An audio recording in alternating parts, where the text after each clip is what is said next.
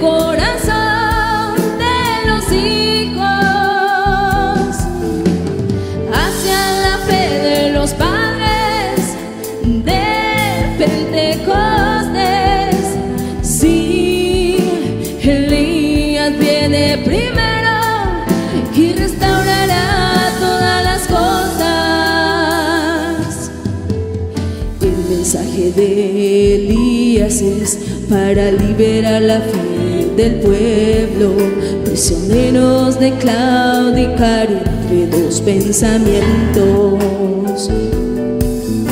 sacando de escena el nicolaísmo y balamismo. Y después de la gran sequía por causa de Acab y Jezabel, traer de regreso lluvia temprana lluvia tardía.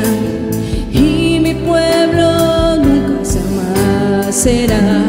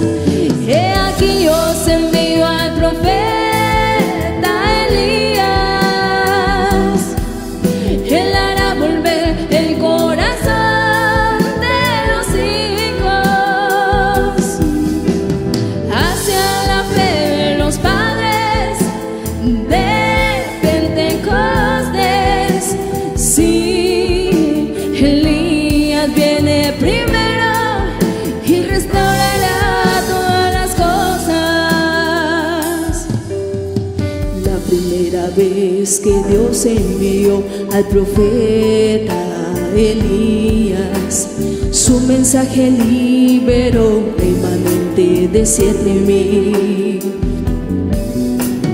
Es la quinta vez que Dios enviará al profeta Elías, serán liberados ciento cuarenta y cuatro mil.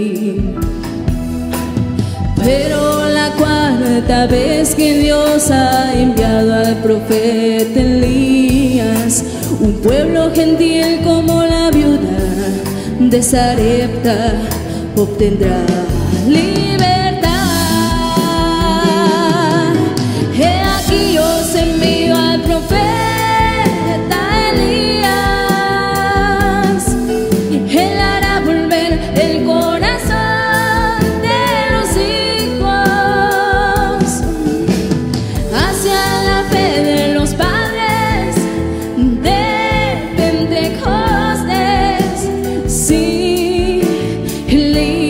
viene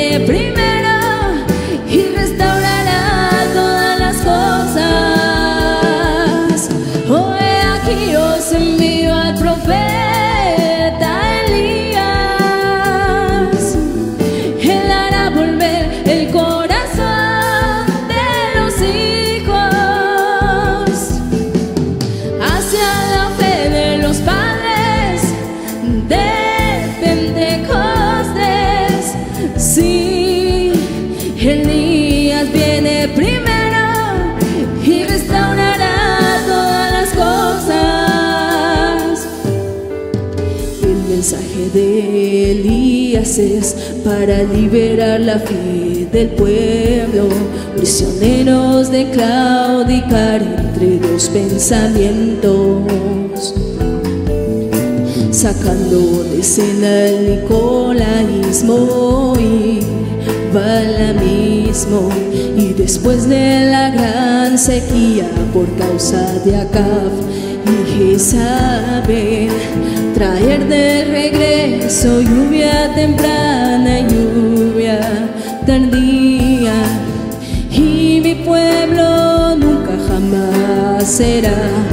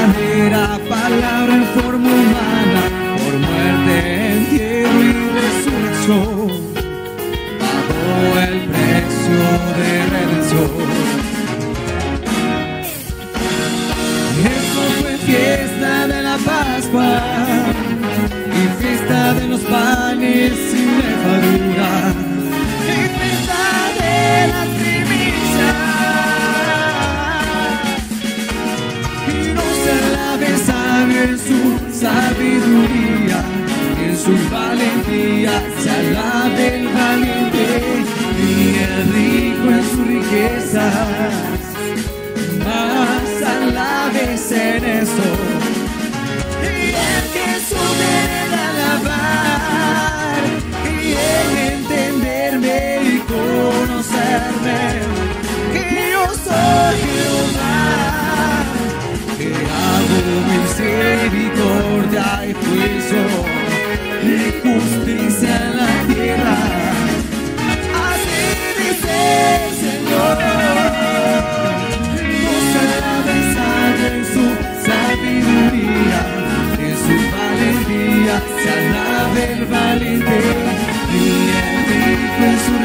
fuerzas, más alabes en eso.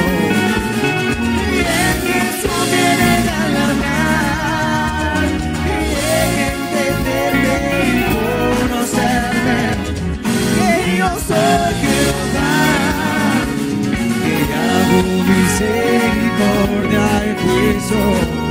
Y justicia en la tierra, así dice la fiesta de Pentecostés. Fuimos fiesta de las trompetas. Los sobrevivientes del holocausto, como Noemí regresando a su tierra.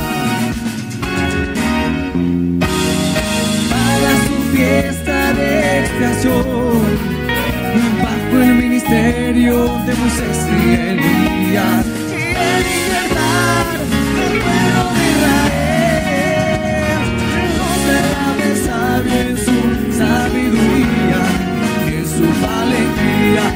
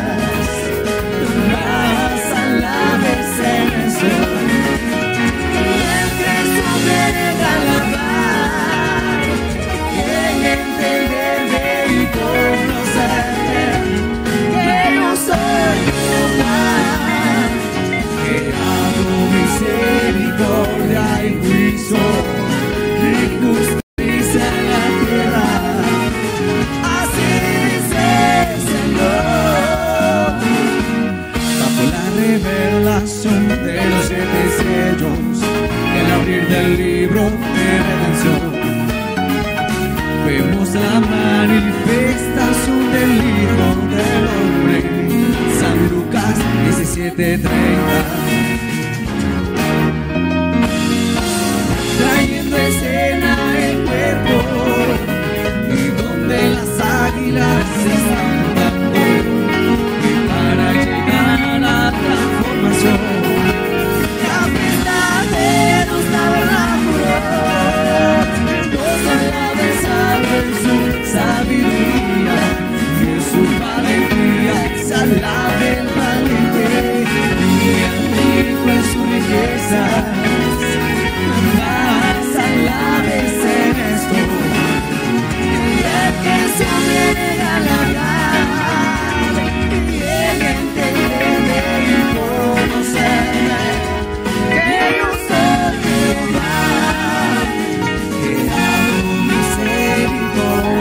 juicio, mi en la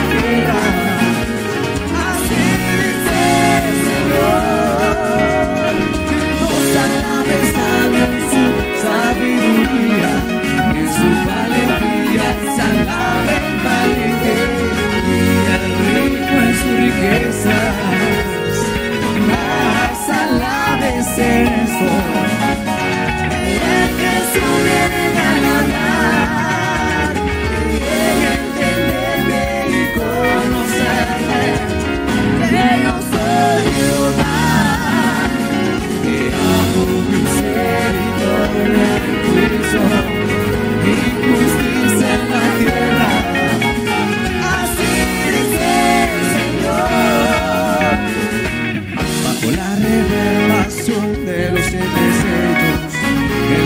del libro de redención. Vemos la manifestación del Hijo del Hombre, San Lucas 13 de 30. Trayendo escena el cuerpo y donde las águilas están.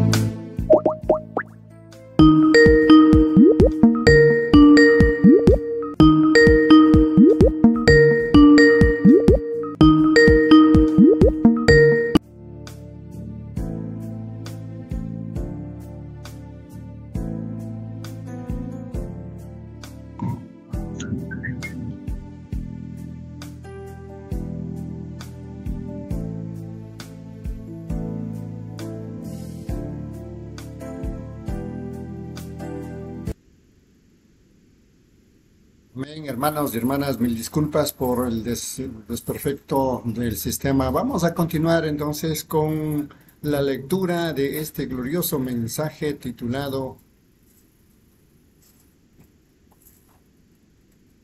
El que está en vosotros, servicio realizado en Jeffersonville, Indiana, Estados Unidos, el día 10 de noviembre del año 1963. Vamos a continuar con la lectura en los párrafos 127. Vamos a regresar un párrafo para formar el cuadro. Dice párrafo 126. Yo veo ahora aquí en la esquina, parece ser un hombre y está muy grave. No, no es. Es una mujer orando por un hombre. Y el hombre no está aquí, pero es una mujer. Veo que esa mujer es su, su padre y se está muriendo de cáncer. El hermano Brangan hace una pausa. Y está muy grave. El hombre no está aquí. Él está en otro lugar. Ni siquiera es en este estado. Es, él está en Georgia. El hermano Brancan hace una pausa. Sigan orando. Ahora creen de todo corazón. La congregación dice amén. Sigan creyendo. Ven, el nombre de la mujer que está orando es la señora Jordán. Ella no es de Georgia, ella es de Carolina del Norte. Señora, si eso es correcto, póngase de pie. Correcto, todo es verdad. La hermana dice, gracias a Dios, gracias a Dios. ¿Estaba usted orando por tal cosa? Sí, Señor, mi Padre. Muy bien, muy bien. La hermana continúa hablando de su Padre. ¿Cree usted que mayor es el que está en usted que el que está en el mundo? La hermana dice, sí. ¿Cree usted que el que... 127. Mire, aquí hay algo más. Usted ha tenido mucho entrenamiento en su juventud o algo así porque parece ser está envuelta en alguna clase de asunto cristiano. ¿No es su padre un ministro o algo así, alguna de su gente o algo? La hermana dice, mi esposo. Su esposo, ese es podía ver a alguien parado a su lado predicando el Evangelio y estaban en una iglesia. Él estaba ligado a usted. Alabado sea el Señor.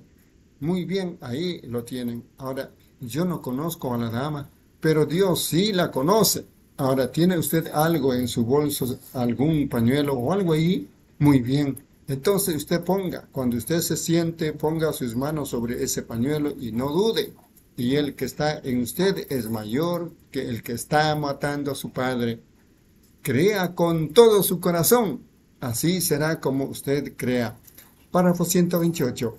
Ahora, quiero preguntarles algo. Yo no conozco a esa mujer hasta donde sé. Me supongo que esa es la primera vez que la he visto, pero ella está sentada ahí en una condición desesperada, orando y el mismo Dios que podía darse la vuelta y decirle a la mujer de su flujo de sangre, es el mismo Dios que está aquí, mostrando que Él que está en ustedes ha conquistado al mundo.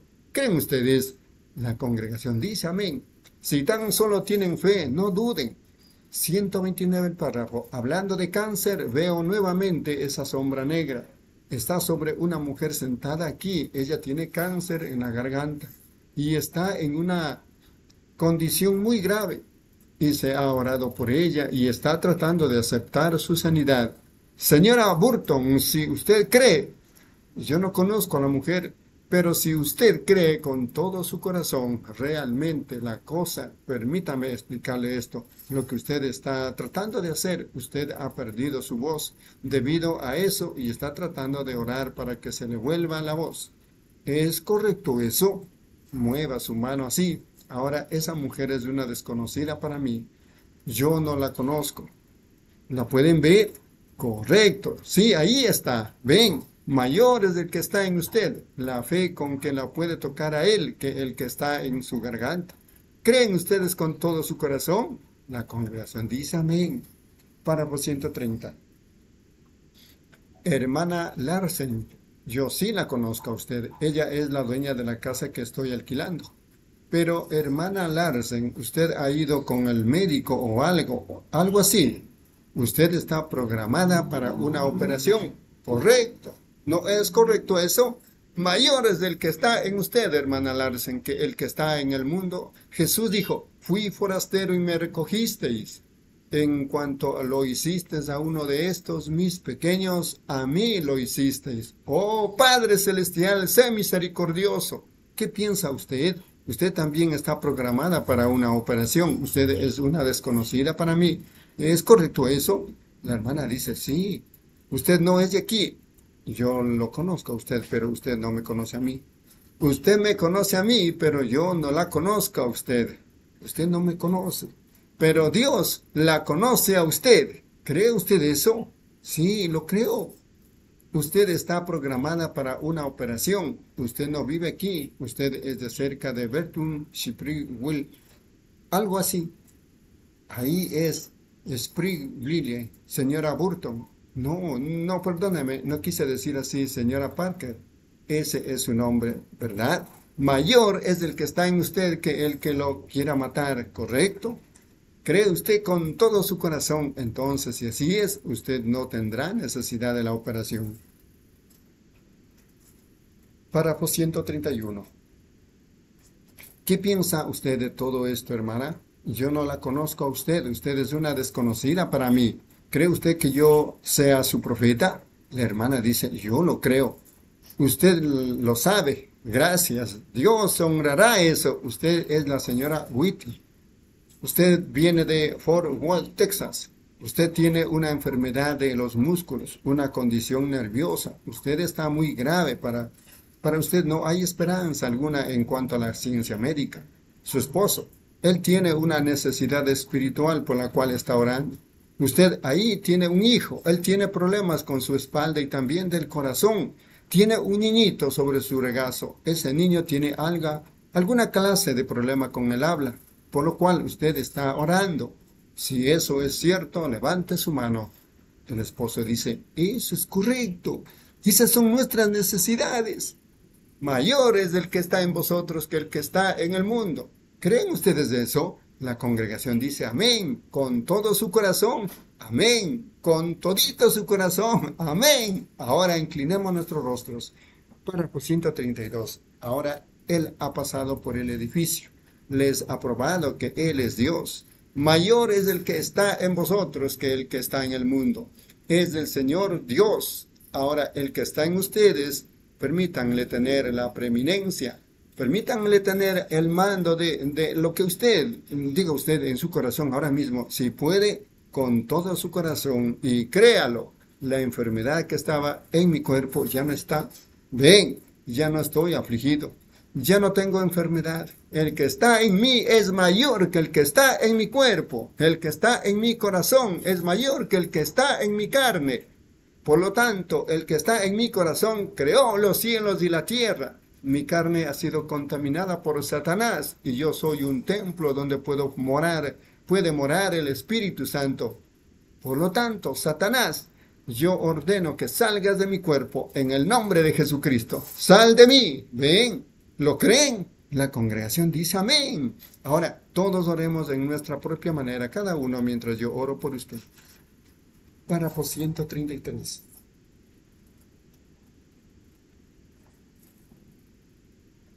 Dios Todopoderoso, el Creador de los cielos y la tierra, el autor de la vida, el revelador de los secretos del corazón, tú dijiste, la palabra de Dios es más aguda que una espada de dos filos y aún discierne los pensamientos de la mente. Por eso fue que cuando la palabra se hizo carne, conocía lo que ellos estaban pensando, siendo que él percibía sus pensamientos. Él era la palabra y la palabra conocía los secretos de sus corazones. Y esa palabra aún es la misma palabra. Y en esta noche la vemos revelándose en nosotros después de dos mil años porque Él la reescribió en papel y está aquí confirmándola, mostrando que es la verdad. Aquí hay pañuelos, hay personas enfermas por todos lados. Yo ruego que el gran Espíritu Santo que esté está presente, que muestra estas cosas, que dice estas cosas y nunca falla, pero es correcto, ni siquiera una sola vez puede fallar porque es Dios, que Él unja estos pañuelos con su presencia y sane a toda persona enferma sobre quienes se pongan. Y el Dios que puede estar vivo después de dos mil años y puede formarse en corazones de los pecadores que han sido redimidos por gracia y fe, y puede hablar sus propias palabras a través de labios mortales y ver que es, se cumple exactamente como Él lo ha prometido.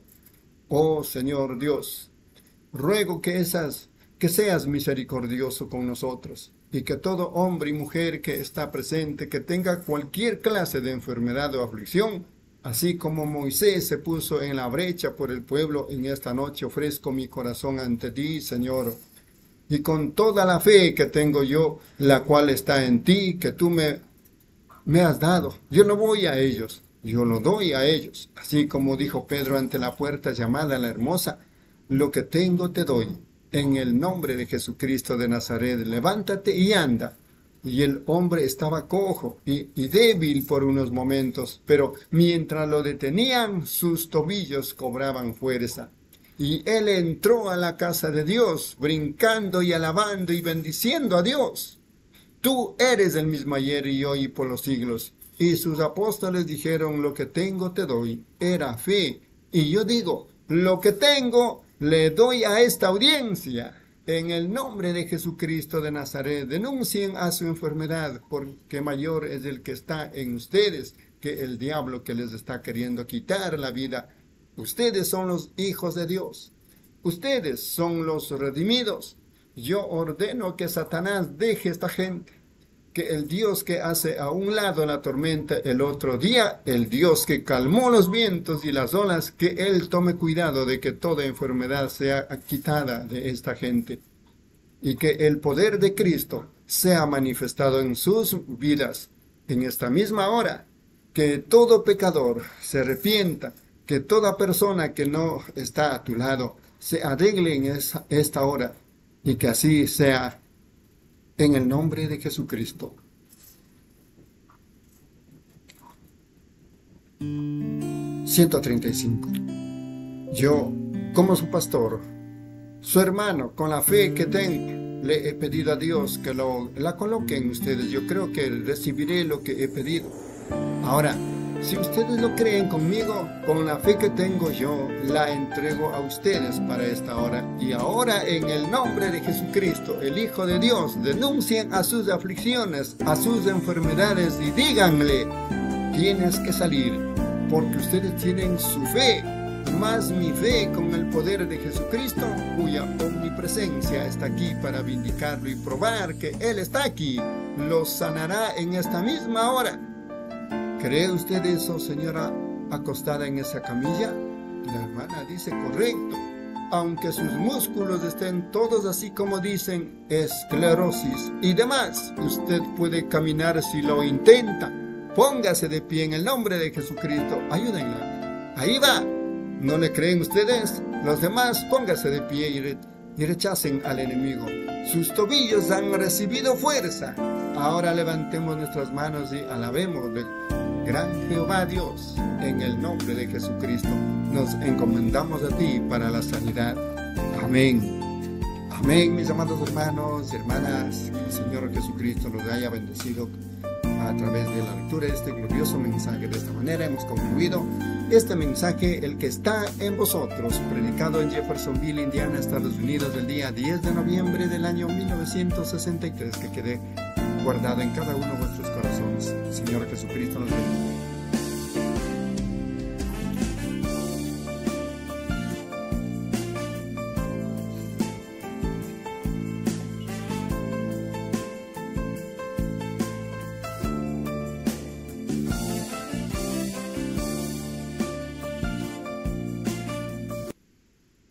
Amén, hermanos y hermanas. Es realmente para nosotros este glorioso privilegio que nos ha dado Dios en esta, en esta hora y en este último tiempo de conocer estos gloriosos mensajes. Nuestro siguiente mensaje a ser lecturado en esta tarde se titula Señor, quisiéramos ver a Jesús. Servicio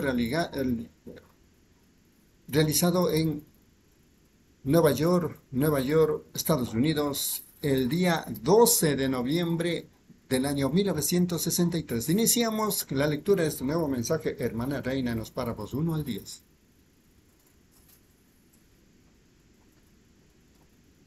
Amén. Dios les bendiga, mis hermanos. Iniciamos la lectura del mensaje Señor. Quisiéramos ver a Jesús. Párrafo 1. Solo creed, solo creed, solo creed. Todo es posible, solo creed. Mientras inclinamos nuestros rostros ahora para orar, me pregunto, ¿cuántos quisieran ser recordados? Solamente levanten su mano y hagan saber su petición. Muy bien, oremos. Nuestro Padre Celestial, estamos agradecidos contigo por esto, por el gran privilegio que tenemos de congregarnos otra vez antes de la venida del Señor. Y oramos, Padre, que esta no sea solamente una reunión ordinaria, pero que sea una reunión en ti, en los lazos de tu amor y compañerismo.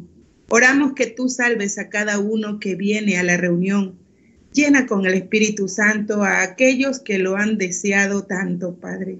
Sana a cada persona enferma y afligida, que podamos sentarnos en quietud y reverencia esperando en ti y esperando la respuesta que viene en camino, por la que hemos orado tanto.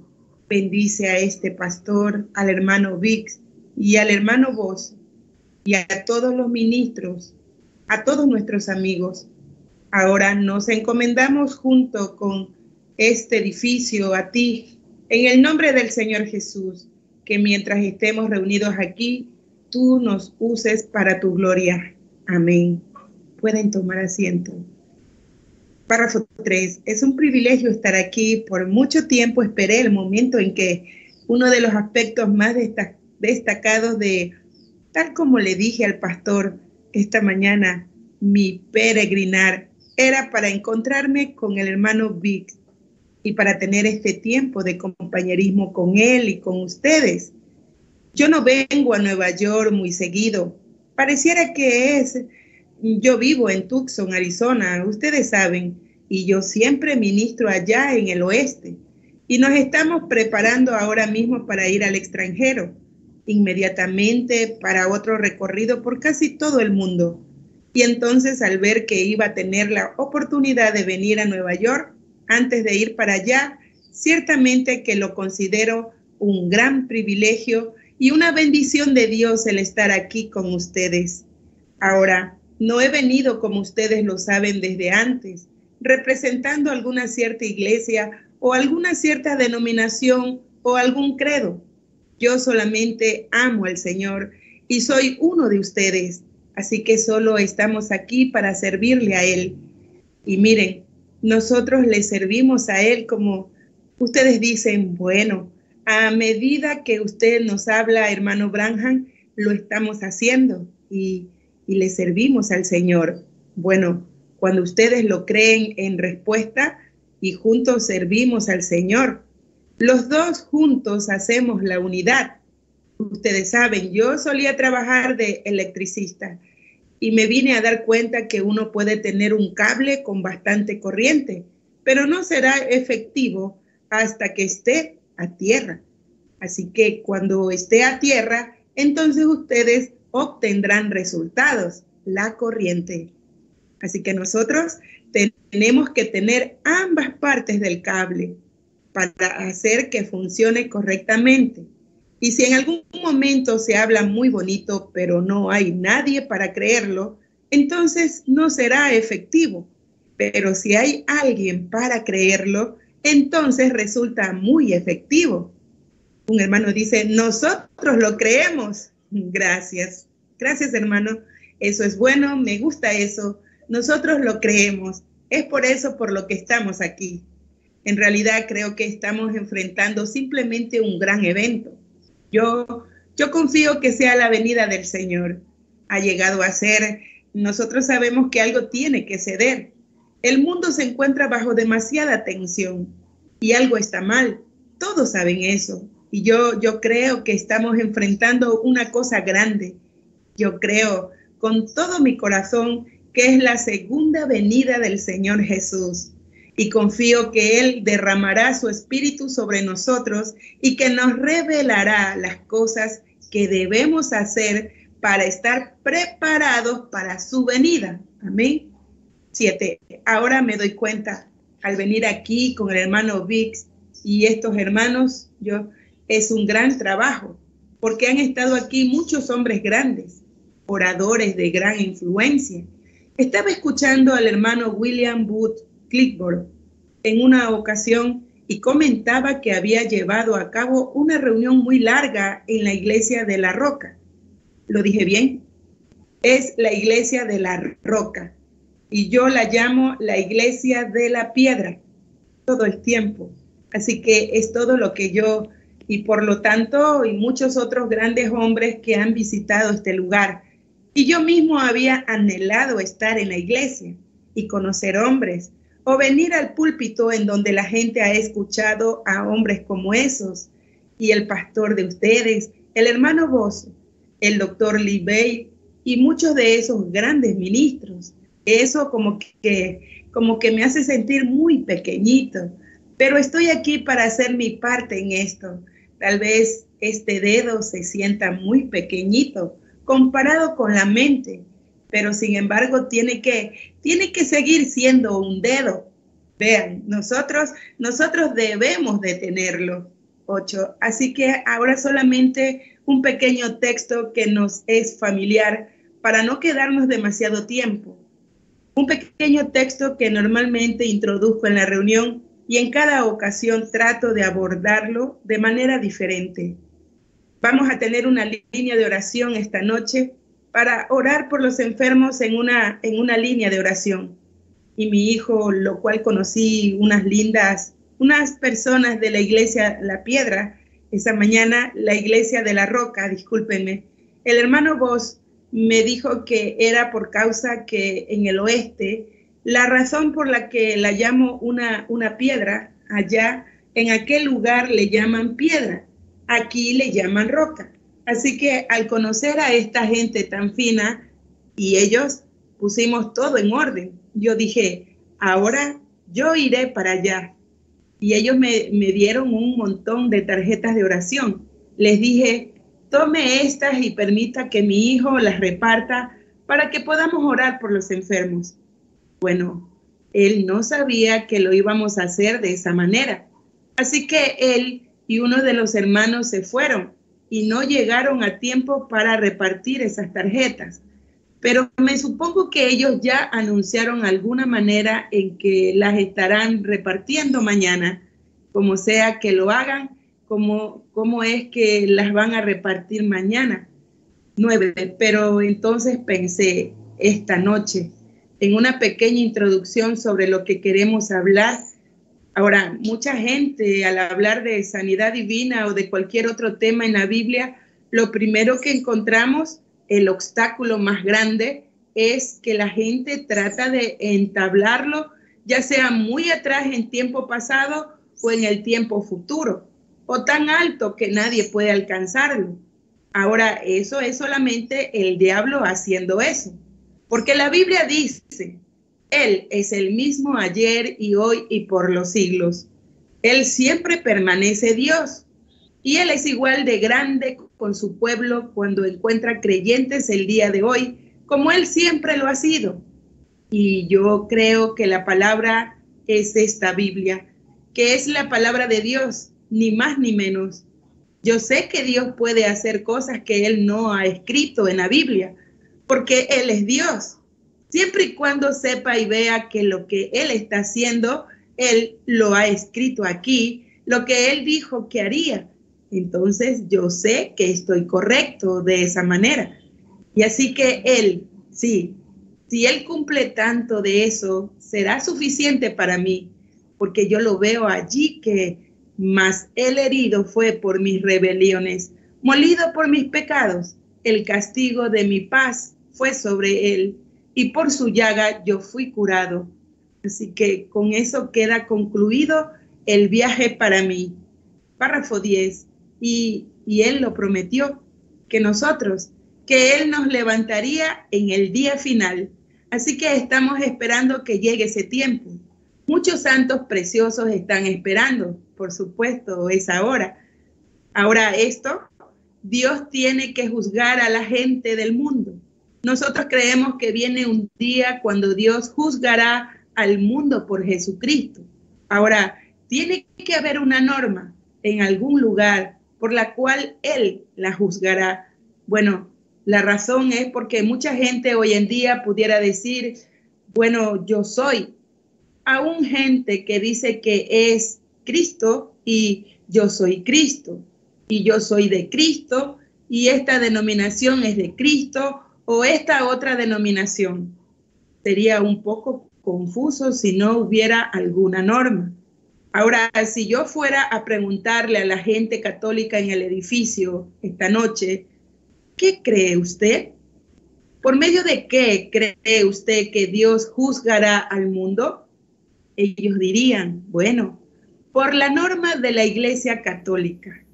Amén. Dios le bendiga, mis hermanos.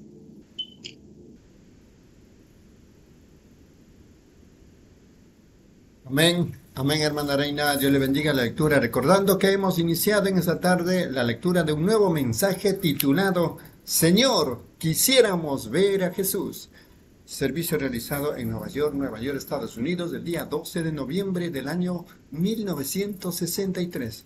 Continuando con la lectura en los párrafos 11, dice, yo pudiera preguntar tal vez a uno de otra denominación, pues ellos me dirían, pues por la norma de nuestra iglesia, pudiera ser que ellos no, no lo confiesen directamente, pero nuestras acciones prueban que eso es lo que pensamos.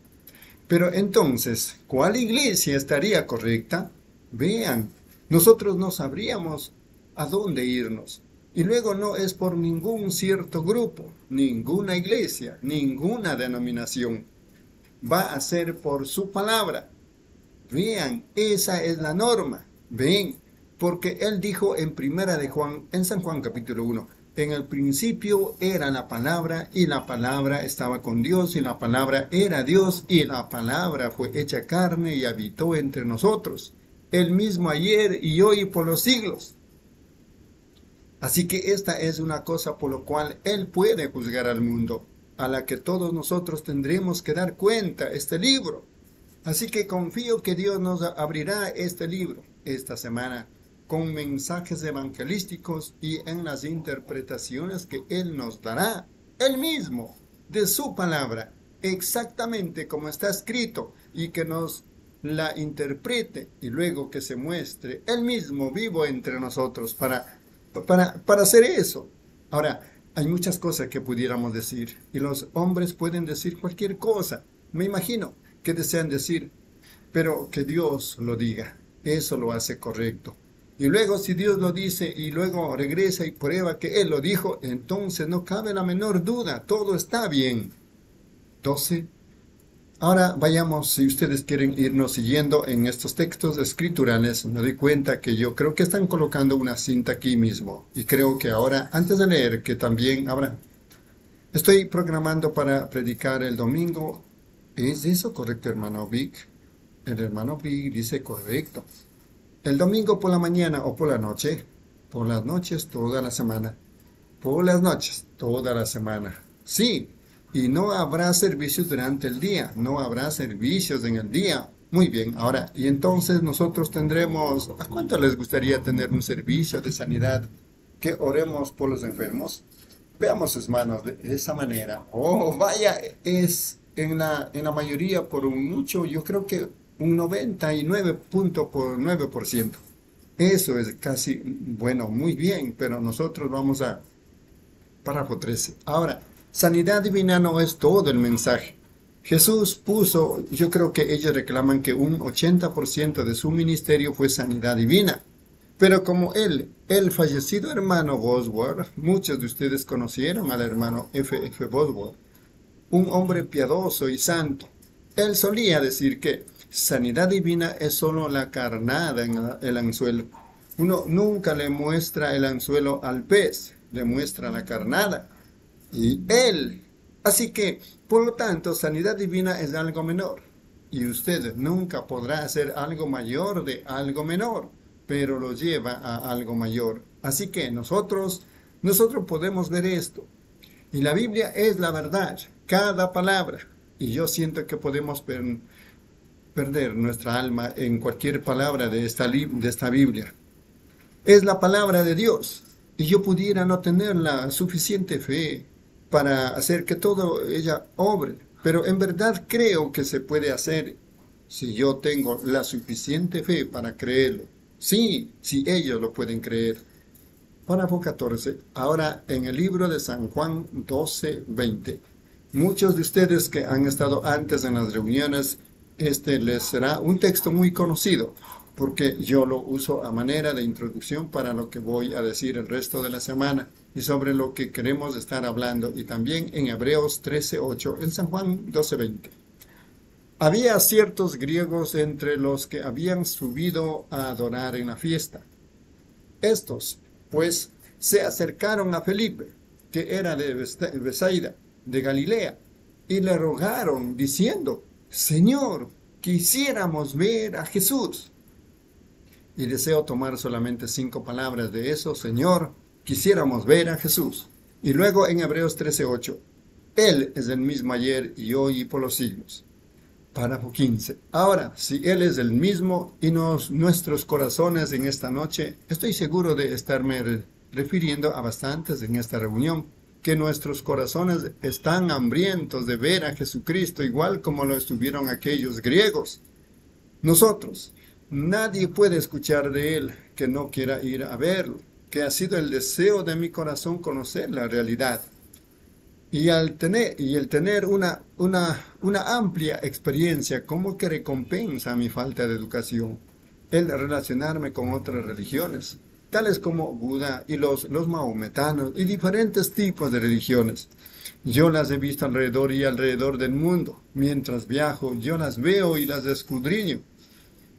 Pero solamente hay una verdadera que yo creo que es la correcta. Esta es la del cristianismo. Vean, y luego es, es la única que puede probar que el fundador de esta religión no está muerto. Ahora yo, para 16 ellos llevan, tienen un caballo o, la, o, parado, mejor dicho, en la tumba de Mahoma. Y ellos creen que un día él se levantará y cabalgará por todo el mundo en victoria. Y, pero él está muerto. Él ha estado muerto por varios cientos de años. Buda murió hace como 2300 años. Él fue un filósofo en Japón, China. Pero ahora nuestra religión de Cristo, él murió en efecto. Él tenía que morir para poder salvarnos, pero nosotros mostramos una tumba vacía. Y ahora su vida se refleja en nosotros. Eso prueba que Él no está muerto. Vean, y, y sus promesas. Párrafo 17. Ahora, por supuesto, si usted dice eso en una nación del extranjero, entre los maometanos, ellos le, le dirán, Sí, Él refleja su vida en nosotros, pero Él nunca prometió nada. Vean de estas promesas. Pero Él dice, el Jesús de ustedes hizo estas promesas. Ahora nosotros estamos esperando ver que sus maestros lleven a cabo lo que Él dijo que prometió. Vean, eso es lo que se está operando, esperando, perdón. Y allí fue en donde atraparon a nuestro hermano Billy Graham. Aquel maestro maometano bueno, sobre eso dijo, si este usted traiga a tantos y yo traeré a tantos y yo haré con ellos lo mismo que usted hará. Bueno, ese fue un gran reto. Pero un día él le hará ese reto a la persona equivocada y entonces vean, será así. Ahora yo puedo, yo puedo creer que, que él es el mismo ayer y hoy por los siglos.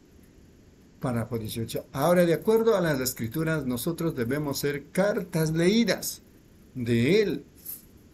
La Biblia dice que nosotros somos cartas leídas. Y si esta noche tuviéramos hambre y sed de ver al Señor Jesucristo, nosotros como creyentes cristianos debemos de reflejar su vida de tal manera que sea su completa representación.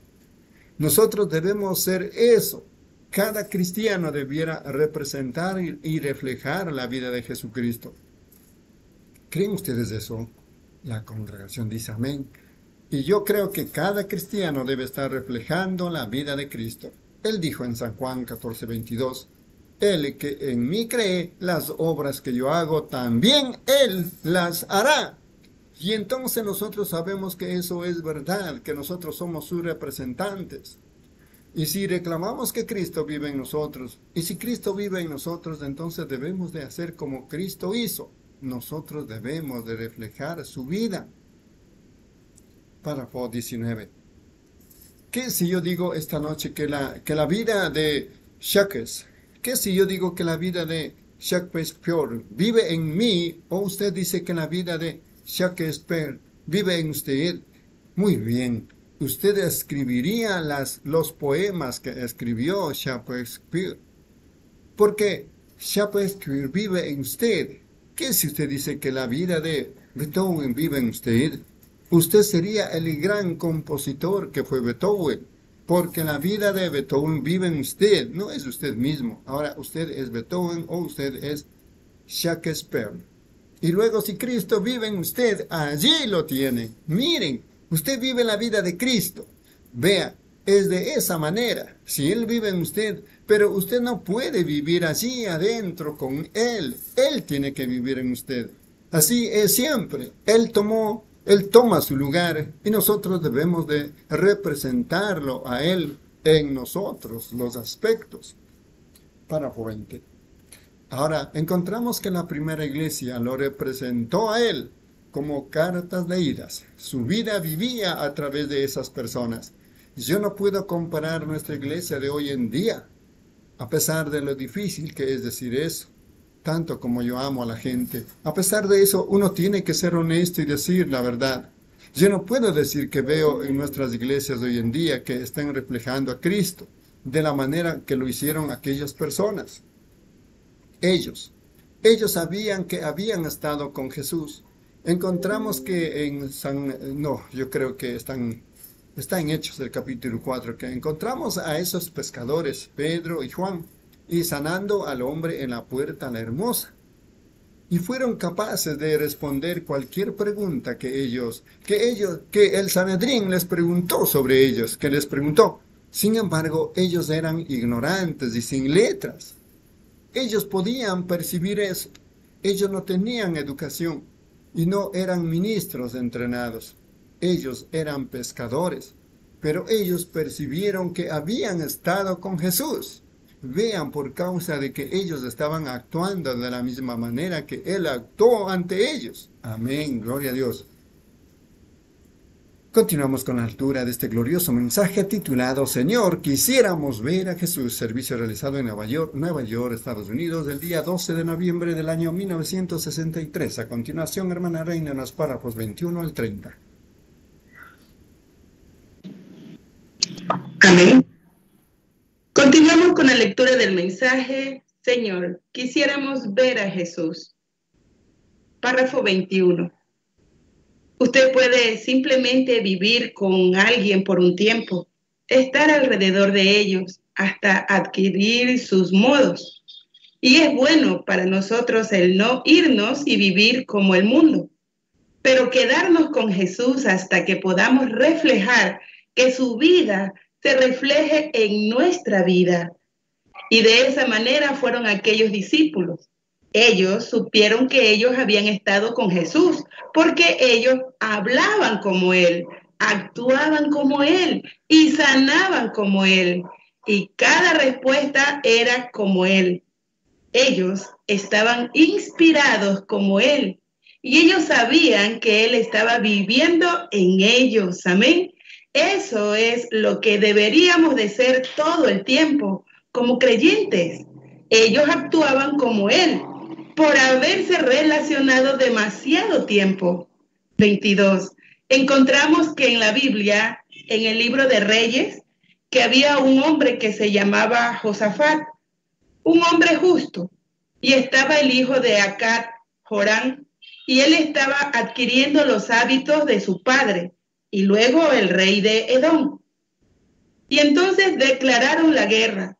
Los moabitas lo hicieron sobre Israel en aquel tiempo. Y Jorán, siendo rey después de su padre, pues él mandó llamar a Josafat. Y Josafat, un hombre justo, nunca debió haberse relacionado con esta persona injusta.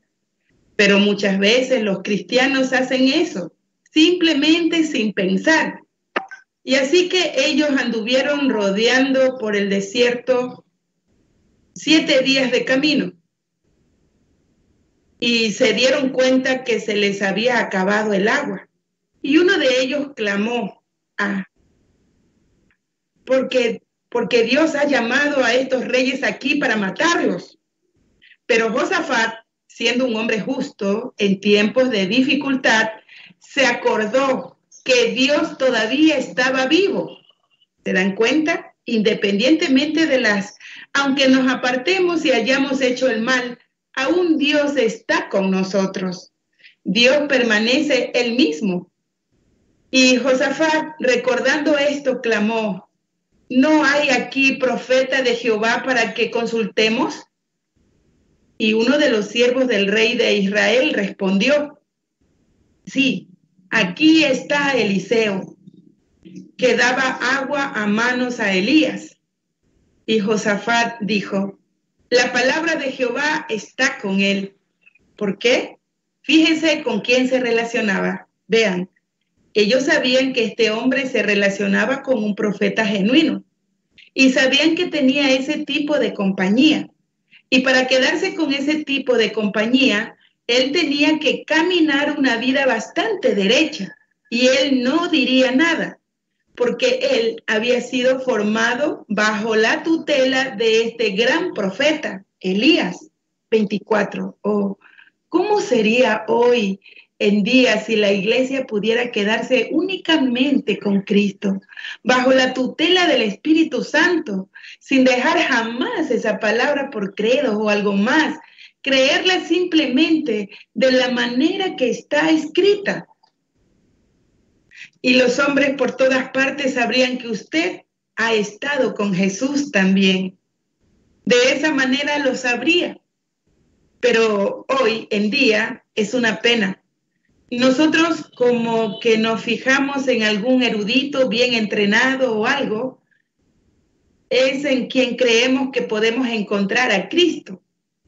Nosotros vamos a las escuelas, enviamos a nuestros muchachos a las escuelas, a seminarios, lo cual está bien, pero nos damos cuenta que ellos aprenden a decir discursos elocuentes y pueden dar grandes pláticas.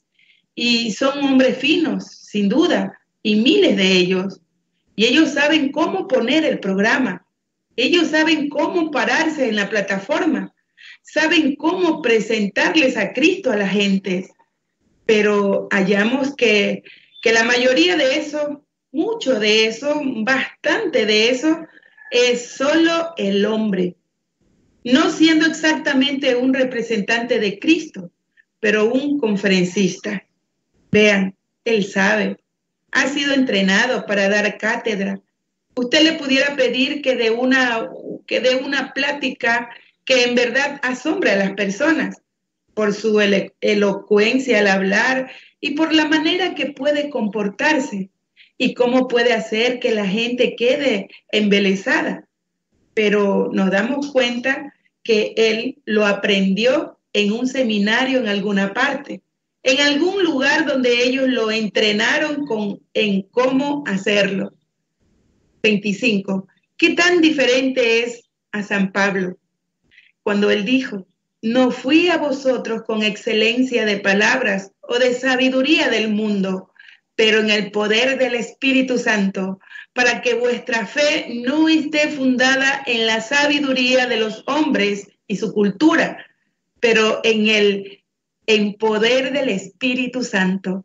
Sí, tenemos otro grupo al que nosotros como que al que mucha gente espera ver.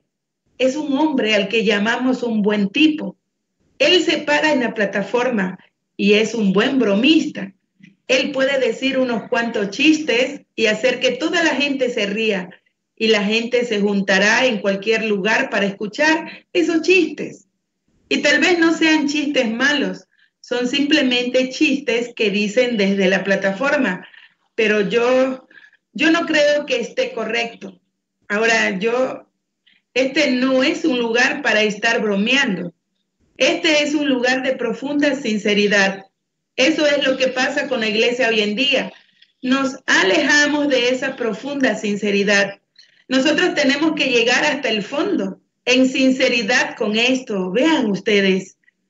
Y luego, Dios ama la sinceridad y nosotros no nos sinceramos lo suficiente en eso. 26. Pero hallamos que esta persona puede hacer que todos se rían y continuar de esa forma. Y nosotros como que buscamos un hombre así, pero en lo que a mí concierne, él es llamado. Para mí, tal vez un animador o simplemente un payaso de púlpito. Eso es todo. Vean, el pararse allá arriba y, y solamente hacer que la gente se esté riendo, cuando ellos deberían de estar en la venida del Señor, en una profunda sinceridad, observando cada instante por su aparición, porque no sabemos exactamente la hora en que Él aparecerá. Por lo tanto, nosotros no necesitamos conferencistas, no necesitamos animadores y demás. Y luego hay otra clase de gente que busca a Dios, si acaso lo están buscando, en el vestuario de la persona. Mucha gente ve a un hombre viniendo por la calle con un gran, algún tipo de sombrero religioso puesto y con ropa religiosa colgándole. Y ellos, ellos piensan que eso es muy religioso, que se parece a Cristo. Y yo no creo. Si así fuese, entonces Cristo no se vistió de esa manera. Así que no es el vestido. El reino de Dios no es comida ni vestido, pero es longanimidad en el Espíritu Santo. Amén. 27. Ellos buscan en la gente, muchos de ellos buscan en la gente, la gente busca a Cristo, mejor dicho, entre sus parientes. Ustedes dicen, mi madre, ella ha sido un cierto tipo de miembro de cierta y cierta iglesia por muchos años, o mi padre lo ha sido. Y ellos buscan a Cristo entre su gente de esa manera. Mi familia me crió en tal y tal. Pero nosotros no vemos a Cristo, se dan cuenta, no lo vemos. Ustedes saben, María y José cometieron ese error en una ocasión.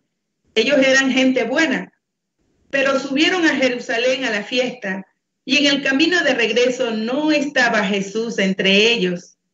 Así que lo buscaron entre su gente, pero él no fue encontrado. Y yo pienso que se parece mucho al día de hoy. Y ellos salieron tratando de encontrar en dónde estaba. ¿Saben ustedes en dónde lo encontraron? En el mismo lugar donde lo habían dejado. Eso es correcto. Amén. 28. Bueno, es allí en donde lo encontramos a Él. Es allí en donde la iglesia lo va a encontrar a Él no lo vamos a encontrar en las conferencias, no lo vamos a encontrar en entrenamientos, no lo vamos a encontrar en entretenimientos, no lo vamos a encontrar en la forma en que nos vestimos o en la denominación a la cual pertenecemos. Nosotros tenemos que regresar al día de Pentecostés, en donde Él vino a la iglesia. Y es allí en donde lo vamos a encontrar, porque es allí en donde la iglesia primitiva lo dejó, en el concilio de Nicea. Y desde entonces es allí donde él se le dejó. Es allí donde a él se le dejó. Por lo tanto, es tenemos que regresar a ese tiempo para ir por él. Regresen a donde lo dejamos a él, a donde podamos tomar su palabra y no le añadan nada ni le quiten nada Solamente créanla en la manera que está. Esa es la manera en la que está escrita. De esa manera es. Dios ha tenido cuidado de ella para mantenerla de esta manera. Y esa es la norma por la cual seremos juzgados. Amén. 29. Ahora estos griegos no estaban buscando una cátedra sobre Jesucristo. No estaban buscando un púlpito de payasos, como dije hace unos momentos. Ellos no estaban buscando eso. No estaban buscando animadores. Ellos querían verlo a Él, a la persona, a Jesucristo. ellos anhelaban verlo porque habían oído de él. Así que la fe es por el oír y el oír por la palabra de Dios. Y él es la palabra. Vean, él es la palabra. ¿Ven? Y ellos querían ver a Jesús. Ahora, ellos nunca dijeron que querían escucharlo a él. Ellos ya habían escuchado. Ellos querían ver. Esa no fue la pregunta. Quisiéramos escuchar a Jesús, Señor. Quisiéramos nosotros. Ellos querían escuchar a Jesús. Ellos querían ver a Jesús. Ese fue el propósito de estar preguntando. Era para verlo a Él. 30. No para que Él se los explicara. Hoy, hoy día, con grandes mensajes intelectuales, nosotros podemos explicarlo hasta que ustedes puedan ver el cuadro. Pero eso, eso no es lo que estamos esperando esta noche. Nosotros no estamos esperando la mecánica, nosotros estamos esperando la dinámica de eso. Eso es. Hay demasiados, vean.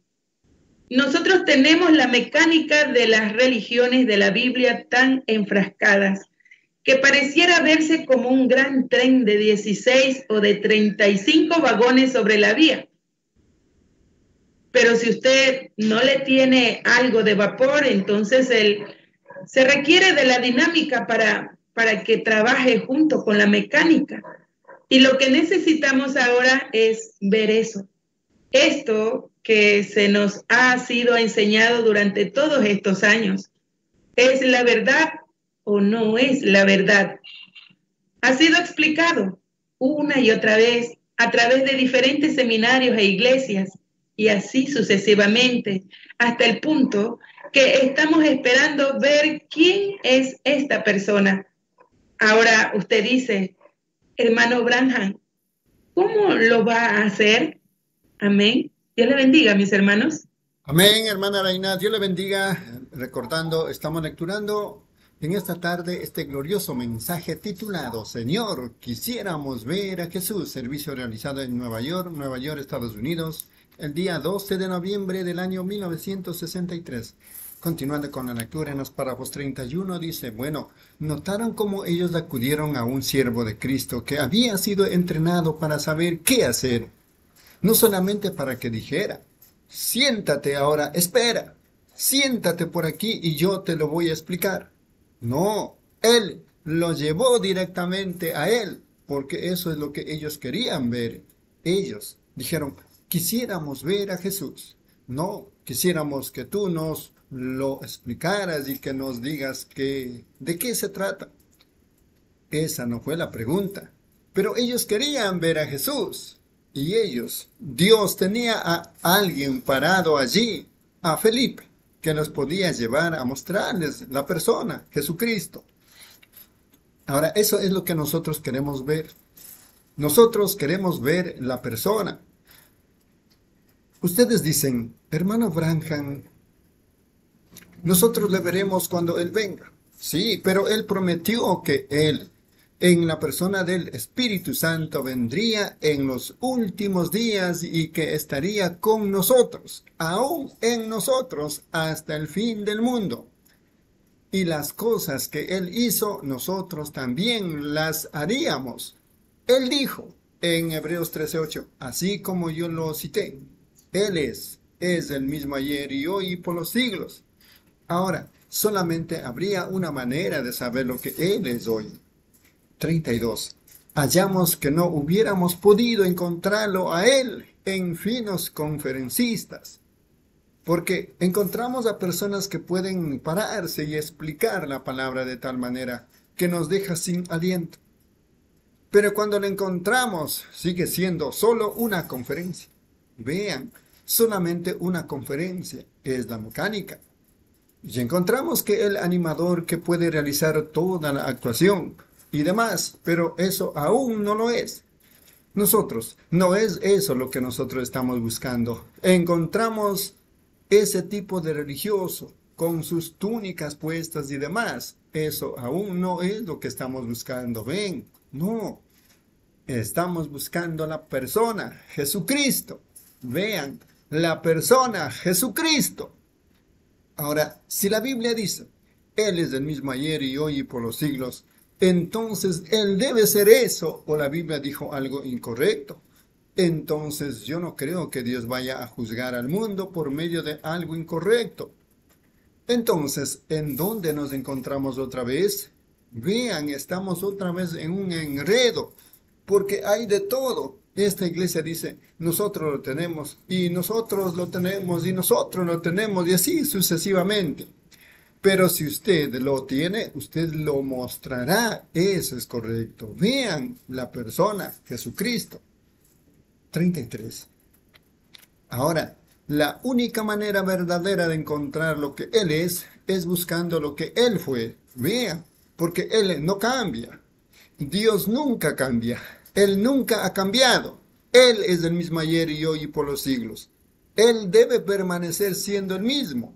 Su palabra debe permanecer igual. Sus planes deben ser siempre los mismos. Ahora hemos intentado de todo en el mundo, pero para librarnos, lejos de sus planes, pero aún permanecen. Su manera es la única. Los hombres han tratado de hacer una manera de educar a los hombres al compañerismo. Eso ha fallado. Nosotros hemos tratado de denominarlos al compañerismo. Eso ha fallado. Dios tiene un lugar en donde Él se encuentra con los hombres y es bajo la sangre. Y fuera de eso no hay manera de fallar. Eso es correcto.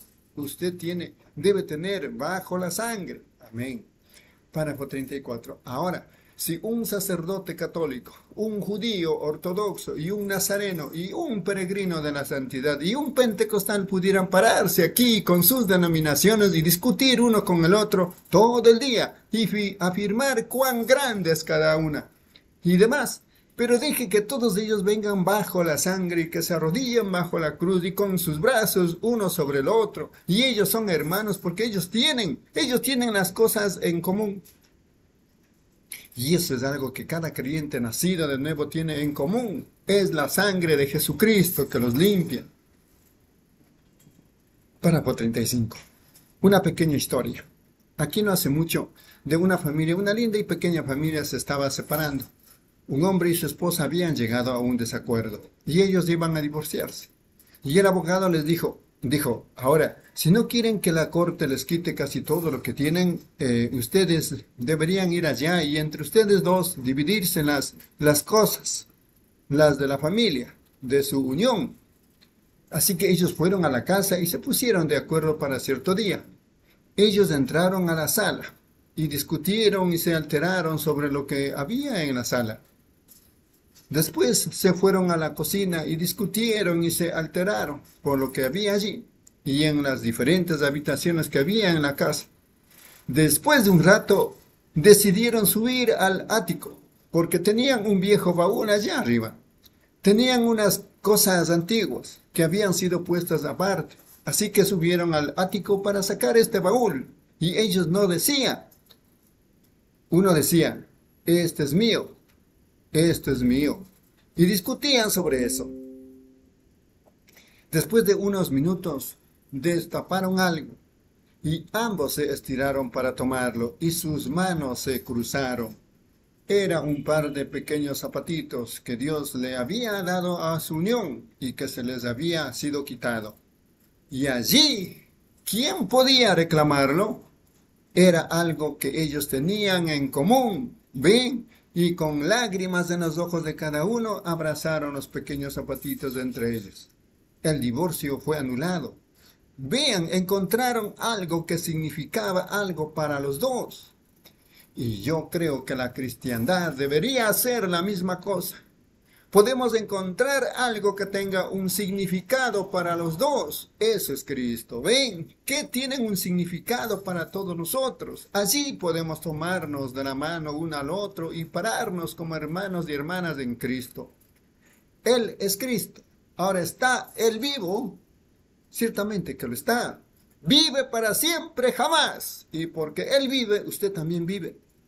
Ahora tenemos que regresarnos y observar. Nosotros sabemos que no lo encontraremos a Él como, como un, un gran educador, Ni siquiera tenemos algún registro de que de él que haya sido que haya ido a la escuela. Y nosotros, él no estaría vestido de manera diferente, porque él entraba y salía de los hombres, de entre los hombres, mejor dicho. Y nunca, pues la gente no lo conocía a él. Todos se vestían igual. Él no se vestía como sacerdote. Él no se vestía como un hombre religioso. Él se vestía como un hombre ordinario. Y, y luego para su uso. Hallamos que la Biblia escribió en lenguaje tan común él debió haber usado la gramática que se usaba en la calle, simplemente un hombre común. Porque la Biblia dice, y los que eran del común, del pueblo, le oían de buena gana. Vean, muchos de los intelectuales no podían relacionarse con una persona tan común que hablaba arrastrando las palabras y demás, como quizás él los hacía. Por lo tanto, era un poquito demasiado para ellos. Y aún lo es el día de hoy. Y esa es la razón por la que la Biblia ha llegado a ser un, problema para la gente. Porque, es, eh, porque tratan de interpretarla con un tipo de lenguaje más elevado, cuando fue escrita en un lenguaje de la calle. ¿Lo ven? 37. Así que Dios se humilló a sí mismo. Dios es humildad. El hombre que puede humillarse a sí mismo está camino hacia arriba. El que se enlaza a sí mismo va camino hacia abajo. Siempre. Así que debemos recordar que la cristiandad no es queriendo sobresalir y tratando de ir adelante de este tipo, pero es dar un paso hacia atrás y sentándonos en el asiento de atrás, vean, dejando que el otro tipo prosiga. Eso, eso es la cristiandad. Humíllese a sí mismo. Si ellos lo demandan en la corte y les quitan el saco, dele también el reloj. Si te cargare por una milla, ve con el dos. Y te hiriere en una mejilla, dale también a otra. Él fue nuestro ejemplo en todas las maneras que nosotros debemos de ser. Y si esa vida puede reflejarse en nosotros, la gente verá a Cristo en usted. Vean, cuando, cuando ellos puedan ver eso. 38 el párrafo. Bueno, veamos ahora, pudiera haber existido muchos hombres. Jesús fue diferente a todos los hombres. Pudieran haber existido muchos hombres que podían ser humildes e ir a la segunda milla o dar a la otra mejilla. Pero encontramos que Jesús fue una persona diferente. Ahora, Dios siempre se ha quedado con su palabra. Recuerde, Él nunca cambia su palabra. 39. Así como dije hace unos momentos sobre la sangre en el jardín del Edén, cuando Adán y Eva habían pecado y Dios tenía que guardar su ley porque Él era justo. Y el castigo de la ley era, pues Él tenía que colocarlo sobre la familia, porque la paga de pecado es muerte. Y tú vas a morir. Y luego cuando ellos llegaron a hacer algo por el estilo, él tenía una proclamación de emancipación. Él, él decidió que se requeriría sangre. Adán y Eva trataron de hacerse un delantal de hojas de higuera, pero no funcionaría. Así que él requería sangre. Y él nunca ha cambiado. Él nunca cambia. Ahora, cuando llegó el tiempo en que una persona se enfermaba y quería ser sanada por Dios, Dios la sanaba en base a su fe en Él. Él nunca la ha cambiado. Aún es igual, exactamente igual. Párrafo 40 por último. Y cualquier palabra que Dios dice nunca puede ser cambiada. Ahora, esa es la razón por la que yo creo que la Biblia es exactamente como está escrita. Vean, no puede ser cambiada. No podemos encontrar nada mejor. Dios no puede. Él es el infinito. Nosotros somos finitos, nosotros cometemos errores y mañana tendremos más conocimiento del que tuvimos hoy. Pero Dios no, Él es, Él es eterno e infinito, omnipotente, omnipresente, omnisciente. Él, Él simplemente, Él es Dios. Si Él no es todas estas cosas, entonces Él no es Dios. Vean, Él es infinito como nosotros. Él es finito como nosotros. Así que debemos recordar que Él es Dios y sus palabras son una parte de Él. usted los ha escuchado decir, cada hombre es tan bueno como su palabra. Eso es verdad. Dios no es mejor que su palabra. Amén, gloria a Dios. Amén, mis amados hermanos, hermanas. Recordando una vez más, estamos lecturando en esta tarde este glorioso mensaje titulado Señor, quisiéramos ver a Jesús. Servicio realizado en Nueva York, Nueva York, Estados Unidos, el día 12 de noviembre del año 1963. Continuando con la lectura, hermana Reina, en los párrafos 41 al 50. Amén. Dios le bendiga mis hermanos. Continuamos con la lectura del mensaje, Señor, quisiéramos ver a Jesús. Párrafo 41. Jesús siempre se refirió a la palabra del Padre, constantemente, todo el tiempo. Escrito está, escrito está. De esa forma fue que él derrotó a Satanás en la palabra. Escrito está. Ahora lo encontramos cuando él estaba, él vino en el poder de la escritura, exactamente la interpretación de la escritura. Pero la gente de ese día que estaba esperando que él viniera, lo pasó a él por alto, porque ellos tenían una interpretación y no podían ir más allá de esa interpretación. Ellos lo tenían que tener a su manera. Ahora pudiera venir de la misma manera el día de hoy otra vez, ¿lo ven? ¿No sería una lástima si así fuera? Y nosotros lo tenemos todo diseñado y tenemos tanta educación que lo ponemos en un pizarrón y les decimos casi la hora en que Él vendrá. Y nosotros le decimos si vendrá cabalgando en un caballo blanco o en una nube. Sabemos exactamente cómo va a ser y pudiera ser totalmente distinto cuando Él venga. Amén. Sí, Él lo hizo. Ustedes saben, esas cosas son tan peligrosas cuando se refiere al intentar decir esto es únicamente de la manera que está escrito en las escrituras. Es así. ¿Notaron ustedes que una vez yo hice una declaración como esta? Una vez los discípulos le dijeron a Jesús, yo creo que en San Mateo 6, 11 o 11, 6 creo que es, discúlpenme, 11, 6 yo creo que es, que los discípulos de Juan vinieron a Jesús y querían saber si él en realidad era aquel. Ahora Juan había sido, lo presentó a él y estaba en prisión. Y ahora Jesús dijo, solamente quédense hasta que termine el servicio Luego vayan y díganle a Juan lo que vieron. Ahora, él nunca le dio a él un libro de cómo comportarse en la cárcel o algo por el estilo, o algún discurso intelectual. Él dijo, ustedes solamente quédense en la reunión hasta que termine. Después, muéstrenle a Juan lo que vieron. Y mientras iban, Jesús los observaba a medida que cruzaban la montaña. Él dijo, ¿qué salieron a ver cuando fueron a ver a Juan? ¿Vieron ustedes a un hombre vestido en ropa fina, con el cuello volteado, y ustedes saben y demás? Dijo, eso es de reyes en los palacios, que besan a los niños y entierran a los muertos, y así sucesivamente. Dijo, ¿pero qué salisteis ver? A un hombre sacudido por el viento como una caña?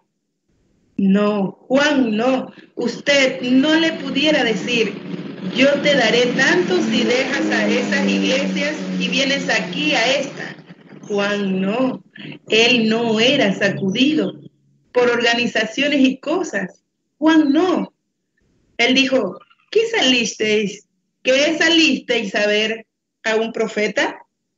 Y él dijo, también os digo, y más que profeta. Pero él era más que profeta porque él era él. Él, él era él, el arco entre la ley y la gracia. Amén. Él fue el mensajero del pacto de ese día, un gran hombre. Y nos damos cuenta que él estaba platicando, estaba hablando sobre Juan y sobre la gran persona que era. Él dijo, si lo podéis recibir, este es de quien está escrito por los profetas. He aquí, yo envío mi mensajero delante de mi faz. ¿Ven? Y ellos dijeron, bueno, entonces, ¿por qué Elías dice? Un día que él estaba hablando de eso, dijeron, ¿por qué Elías dijo que, que la primera cosa era, o por qué dicen los escribas, discúlpeme, que Elías debe venir primero? Y él dijo, Elías ya vino y ustedes no lo supieron. ¿Ven? ¿Ven? Esos hombres entrenados esperando ver al precursor de la venida de Jesús, entrenados en todas las formas de la Biblia, escribas que escribieron la Biblia y que la conocían de la A a la Z, hacia atrás, hacia adelante, lectores, oh vaya, eran hombres de verdad que conocían las escrituras por dentro y por fuera, cada palabra, pero fallaron en ver que Juan era el Elías. Aún sus discípulos nunca lo vieron. 46. Ahora, ¿no sería terrible uno de estos días si viésemos el juicio golpeando la tierra y nosotros diciendo, bueno, ¿por qué es? El rapto se suponía que iba a venir. Y él dirá, pues ya aconteció y ustedes no lo supieron. ¿Ven? ¿Ven? En un momento, en un abrir y cerrar de ojos, cuando nadie esté pensando al respecto y serán robados. Ustedes no lo sabrán cuando se vaya. Déjenme decirles, vale la pena estar listos, amén, como se dice, y estar listos para esta hora. Amén. 47. Ahora tomemos y miremos lo que él fue.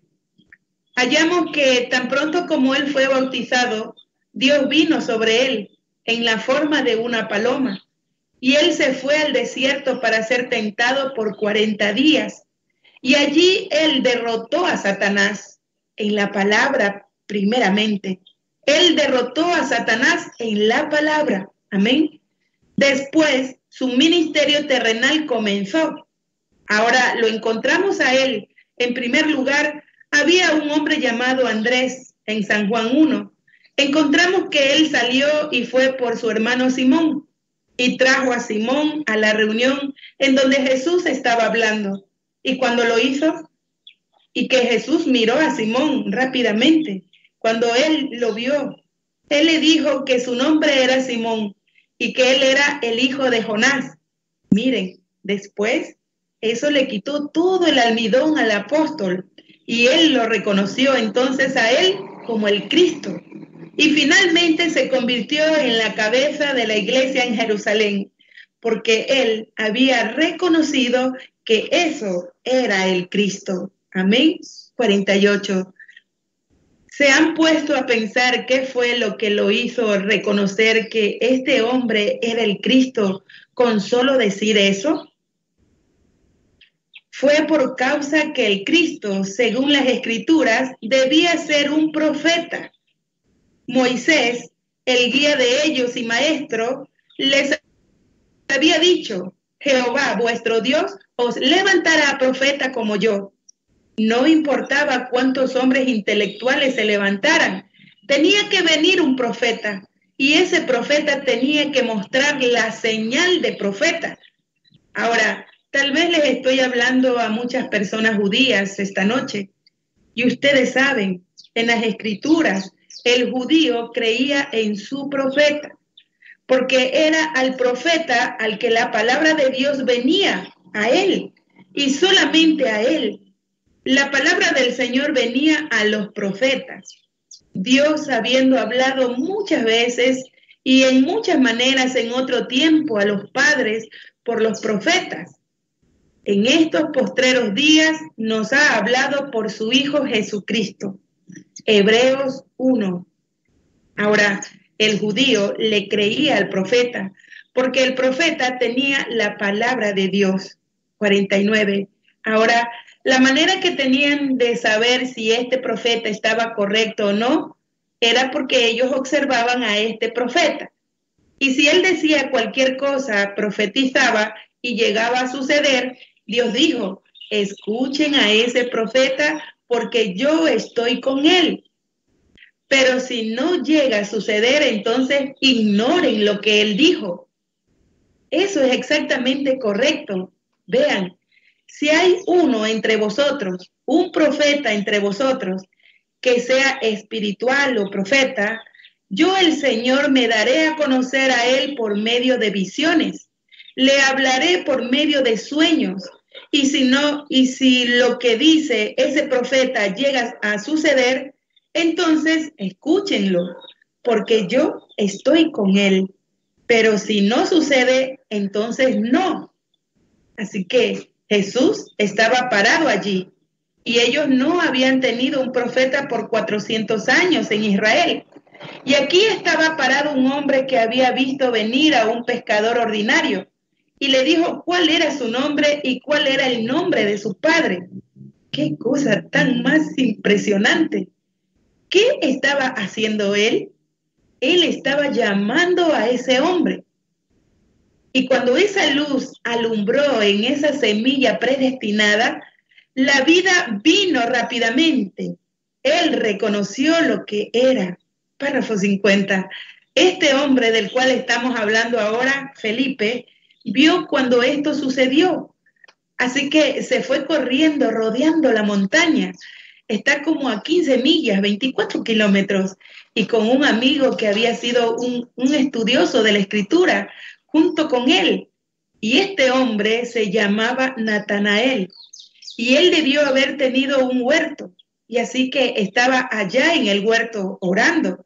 En ese momento Felipe llegó y ambos eran hebreos ahora, esperando la venida del Mesías.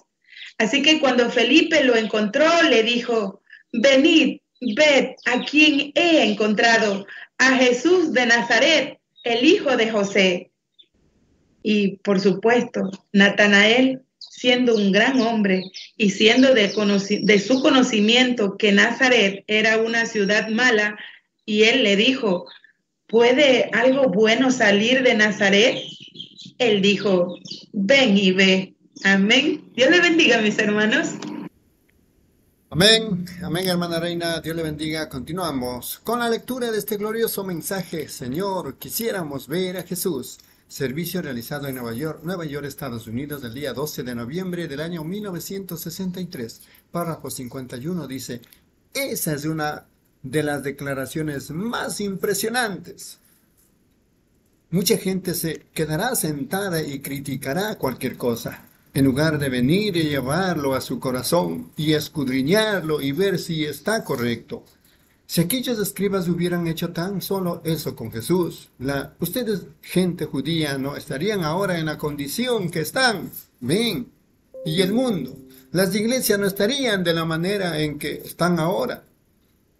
La gente, nosotros no estaríamos de la manera en que estamos. Si estudiáramos las escrituras y si Dios levanta algo, nosotros sabemos que hay mucho fanatismo. Siempre ha habido, siempre habrá, hasta que Jesús venga.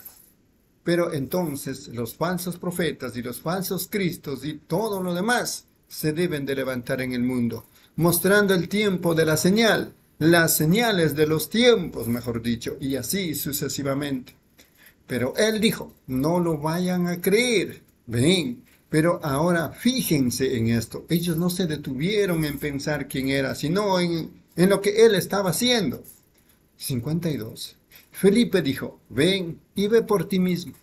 Así que Felipe y, y, Natanael se fueron por el lado de la montaña, juntos. Llegaron a la reunión, algo así como esto, por decirlo, a donde Jesús estaba hablando. Ahora, yo no sé cómo fue que llegaron. Él pudo haber estado parado allá entre la audiencia. Él quizás pudo haber estado aquí arriba en donde Jesús estaba orando por los enfermos. No, es, no, no se nos fue dicho en qué parte estaba. Pero tan pronto como Jesús miró al hombre, él dijo, he aquí un israelita en quien no hay engaño. Ahora miren con qué él se está identificando a sí mismo. Cuando él estuvo aquí ayer, miren, él nunca dio grandes discursos intelectuales. No tenemos registro de que él haya sido educado en seminarios, como dije. Él nunca escribió un libro. Él nunca escribió una palabra. Él escribió algo en la tierra y luego tomó su mano y lo volvió a borrar. ¿Por qué, lo, ¿Por qué él no escribió algo? Porque él era la palabra. Amén. Por lo tanto, vean, si tan solo hubieran sabido, él era la palabra. Él era la misma palabra siendo hecha carne. Él era Dios en carne. Dios estaba en Cristo reconciliando el mundo a sí mismo. Ahora noten lo que él hizo. Cuando Felipe trajo a este ferviente judío, él dijo, he aquí un israelita en quien no hay engaño. Bueno, alguien pudiera decir, seguro, lo podían notar por la manera en que estaba vestido. No, toda la gente de este usa turbantes y usan barba. Ellos son vestiduras, usan vestiduras. Uno no podría diferenciar en un asirio o cualquier otra persona. Él sencillamente traía puesto este tipo de vestidura. Dijo, he aquí un israelita en quien no hay engaño. ¿Cómo supo él que era así de justo, el hombre honesto que él era? Él podía haber sido un, un criminal, él podía haber sido un ladrón que vino allá con Felipe. Él no sabía, pero él tenía una manera de saberlo. Y a él le impresionó tanto este hombre que le dijo, rabí, lo cual significa maestro. ¿Cuándo me viste? ¿De dónde me conoces? Él dijo, antes que Felipe te llamara, cuando estabas debajo del árbol, te vi, ven. ¿Y qué fue lo que este erudito de la palabra supo por eso? Él supo que era ese profeta. Él dijo, Rabí, tú eres el Hijo de Dios, tú eres el Rey de Israel. Y Jesús le dijo, porque te he dicho estas cosas, ¿lo crees? Ahora verás cosas mayores que esta. Pueden ver cómo él se identificó a sí mismo no con una cierta vestidura, no en una gran, siendo un gran conferencista, algún grado de doctorado de alguna universidad. 55 el párrafo. Esas cosas están bien, no las estoy criticando. Estoy tratando de sacar algo de aquí, vean, para mostrárselos. Esas denominaciones y universidades y las vestimentas en las que a mí concierne están bien, pero no estamos hablando de esas cosas ahora. Ven, ciertamente yo prefiero ver a un hombre con atuendo religioso que verlo como alguna de estas mujeres que andan allá afuera en la calle, ven, o algo así. Prefiero verlo, aun si él es un fanático en su religión. Yo prefiero verlo así que verlo aquí afuera, borracho en alguna parte, en una zanja, ven, así que no tengo nada en contra de eso. Párrafo 56. Pero lo que estoy tratando de decir, estamos tratando de encontrar esa persona, a Jesús. Esa es la persona que estamos buscando. ¿Quiere esta palabra? Esa. ¿Puede esa palabra mentir? No, Señor, no puede mentir y ser Dios. Dios no puede mentir. Y esta palabra es Dios. La Biblia dijo que la es, que no es. Y ahora estamos tratando de ver lo que Él es. ¿Cómo podemos identificarlo a Él? no en vestiduras, no en denominaciones, no en discursos. ¿Cómo lo vamos a encontrar? Nosotros lo vamos a encontrar en la persona que Él es, en lo que Él es ahora. Noten, esa fue la manera en que ellos lo supieron allá atrás. No por sus vestiduras, no por su educación de su escuela. Él no podía decir que venía de alguna escuela. Dijo, ¿de dónde vienes tú? ¿De qué escuela salió él? No sabemos nada de este hombre. Seguro, nunca tuvieron algún registro de él de ninguna parte, pero él, de esa manera salieron los profetas. Ellos no sabían de dónde habían salido. No supieron nada de Elías ni del resto de ellos. Ellos simplemente salieron de ninguna parte. Y así que se fueron. Eso era todo lo que sabían. Son hombres a los cuales Dios puede tomar hombres como usted que Dios puede tomar y declararse a sí mismo para que Él pueda juzgar justamente una generación por la que puede juzgar una nación, juzgar al mundo. Porque la palabra tiene que salir a alguna parte y Él se encarga de que los elegidos tengan la oportunidad de escuchar eso. Amén, gloria a Dios. Párrafo 58. Ahora nos damos cuenta que cuando Jesús estaba, estaba hablando y Él lo reconoció, estaban aquellos que estaban aquellos parados allí que tenían que llevarle una respuesta a su congregación. Estaban aquellos que tenían que responderle a sus denominaciones, ya fuesen fariseos, saduceos, herodianos, lo que fueran. Así que se pararon allí y dijeron, este hombre hace eso por Belcebú. Él es un adivino. En otras palabras, él lo hace por telepatía. Él les lee la mente. Jesús percibía sus pensamientos. Ellos no tenían que decirlo en voz alta. Él sabía lo que estaban pensando. Él captaba sus pensamientos. Él es el mismo hoy como lo fue entonces. Él sabe lo que usted está pensando. Ven, si Él es la palabra, Él tiene que permanecer como la palabra. Ahora, en Hebreos 4, la Biblia dice que la palabra de Dios es viva y eficaz. Penetra como una espada de dos filos que discierne aún los pensamientos del corazón. ¿Qué es la palabra? La palabra de Dios puede discernir los pensamientos que están en su corazón. Eso es exactamente lo que Él fue, la palabra. Y la palabra puede discernir los pensamientos que están en el corazón. ¿Ven? Ahora, eso es lo que fue la palabra. Ellos debían haber sabido eso. Vean que esa es la razón. Él percibió sus pensamientos, los miró a ellos y él dijo, yo les perdono por eso porque él aún no había sido crucificado. El Espíritu Santo todavía no había venido. Párrafo 60 por último. Pero él dijo, cuando el Espíritu Santo venga para hacer la misma cosa que él estaba haciendo, porque él había prometido que lo haría. Vean, cuando el Espíritu Santo venga, Él les traerá estas cosas a la memoria, lo que yo les he enseñado, y les mostrará cosas por venir. Ven, Ahora, cuando Él venga a hacer la misma cosa que yo estoy haciendo, una palabra en contra no le no les será nunca perdonado, ni en este mundo ni en el mundo venidero. Vean, es así de estricto como será en estos últimos días. Ven, va a separar, vean. Entonces Dios en su juicio, igual como Él lo hizo en el Edén, lo dirá justamente. Ustedes lo vieron, Ustedes lo supieron, yo lo probé y ustedes no lo creyeron. Eso es. Amén, gloria a Dios. Es realmente para nosotros un privilegio grandioso de conocer estos mensajes. Estamos lecturando en esta tarde este mensaje. Señor, quisiéramos ver a Jesús.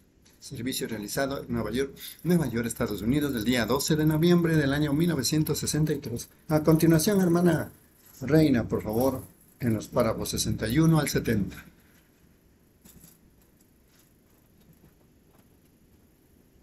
Amén. Dios le bendiga, mis hermanos. Continuamos con la lectura del mensaje. Señor, quisiéramos ver a Jesús. Párrafo 61. Ahora, y observen lo que él hizo cuando él hizo esto, lo que él dijo. Felipe dijo, tú eres el Hijo de Dios, tú eres el Rey de Israel. Jesús le dijo que cosas mayores que estas él diría. Ahora, eso fue para los judíos. Ahora, hay tres clases de razas sobre la tierra. Por mucho que nosotros, nosotros lo queremos creer, esas son judíos, gentiles y samaritanos. Nosotros siempre Dios es perfecto en tres. Y hubo tres hijos de Noé. Y de estos tres hijos salió toda la raza de gente. 62. Encontramos ahora que el Espíritu Santo, Pedro en el día de, antes del día de Pentecostés, le fue dado las llaves del reino. Nos damos cuenta que él le abrió a los judíos en el día de Pentecostés y él descendió a Samaria y le abrió a ellos. Regresó a la casa de Cornelio y la abrió allí. Y él no tuvo que volver a hacerlo. Estaba abierto para el mundo. Vean, de esa manera el Espíritu Santo. Pero si se acuerdan, Felipe fue y le predicó a los samaritanos e hizo que se bautizaran en el nombre del Señor Jesús solamente que el Espíritu Santo todavía no había descendido sobre ninguno de ellos. Y mandaron llamar al que tenía las llaves, y él les impuso las manos, y el Espíritu Santo vino sobre ellos. Eso es correcto. Esos fueron los judíos. Esas tres razas de gente, 63. Ahora, nosotros los gentiles éramos paganos, romanos, griegos y demás. Nosotros adorábamos ídolos.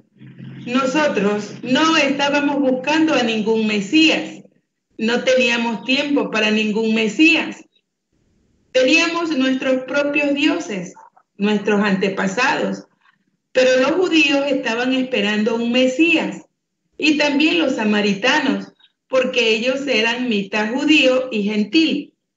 Ahora, Jesús se le, se le aparecerá a aquellos que lo están buscando, solamente a esos, nada más.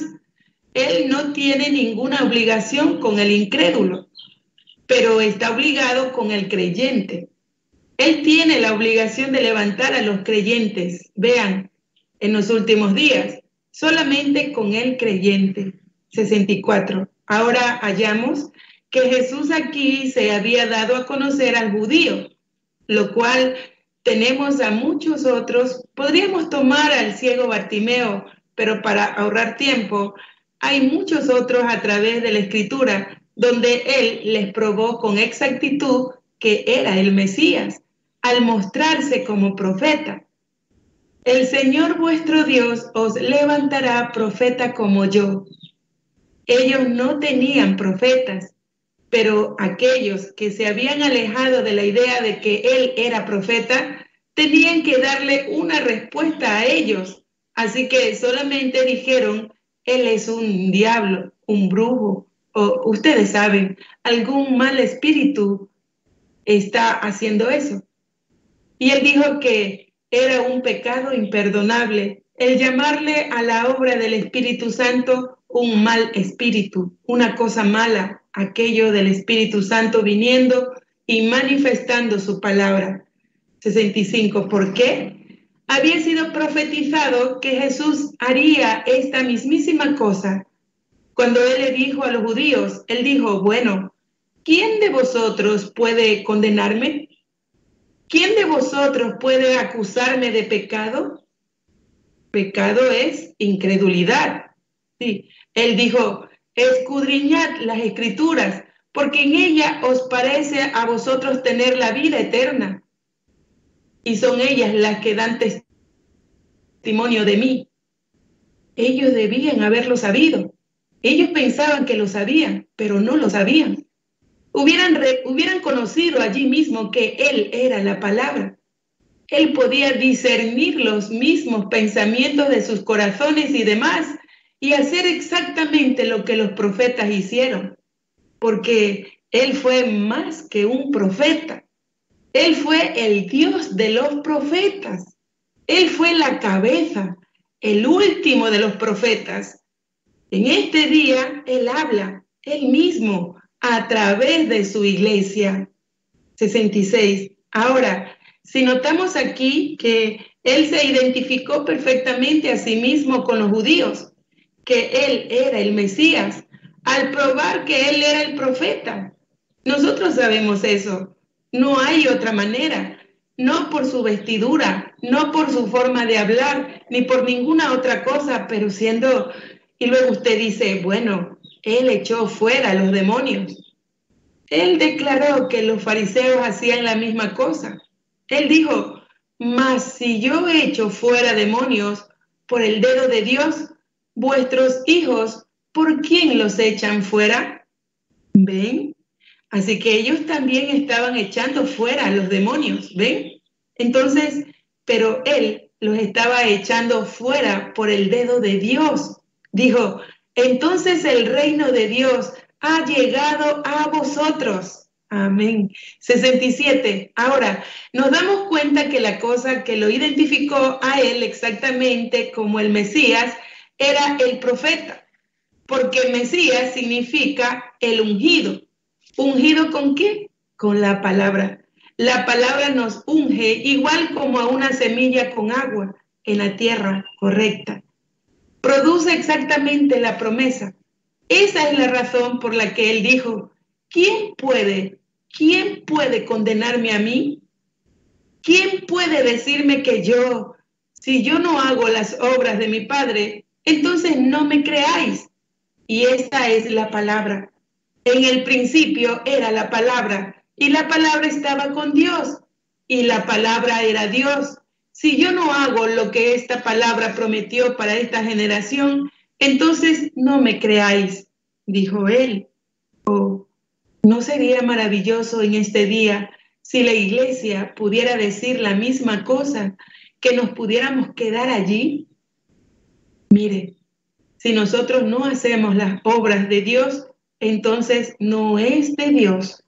Y donde quiera que Dios está, tendrá lugar lo sobrenatural, porque Él es sobrenatural. Amén.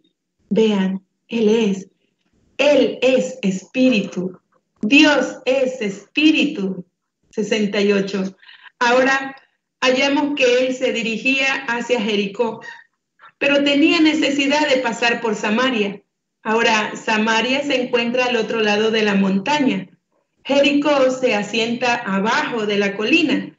Pero mientras iba él en camino, en lugar de bajar directamente a Jericó, él rodea hasta Samaria. Me pregunto por qué. Y él llega a una ciudad llamada Sicar. Y ellos envió a los discípulos a comprar unos víveres, comida. Y mientras ellos estaban allá adentro comprando comida, él se sentó junto al pozo. Y era un pozo como con una pequeña panorámica, parecida, un lugar público de reunión para aquella gente que venía a sacar agua. Y todavía está allí hoy. Y las vides crecen por las paredes. Y Jesús estaba allí sentado, recargado en la pared. 69. Y mientras él estaba sentado allí, venía una joven de la ciudad. Nosotros la llamaríamos el día de hoy una mujer de mala fama. Y tal vez la criatura fue impulsada a eso. Y ella, tal vez sus padres la soltaron en la calle. Y ustedes saben lo que eso significa. Y yo pienso que la dama, la mujer, realmente le pasó algo no se nos ha dicho en la escritura, pero observen lo que sucedió en el corazón de la mujer. ¿Ven? Ella vino a sacar agua y debió haber sido alrededor de mediodía. Normalmente las siervas, aún el día de hoy, salen muy temprano por la mañana y sacan su agua y la colocan en sus cabezas en esas grandes vasijas de barro y llevan el agua para tomar y para las labores domésticas y para lo que sea que la ocuparan. 70.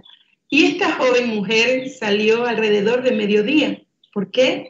Ella no podía asociarse con el resto de la gente, la gente buena. Ella no podía ser sorprendida en medio de ellos. Ellos la rechazarían y ella se sentiría mal por eso. Así que se quedaba atrás. Ella sabía qué tipo de vida estaba viviendo así que se mantenían lejos de la gente religiosa. Ahora nos damos cuenta que cuando ella salió, probablemente no se fijó que alguien estaba sentado, recargado en la pared.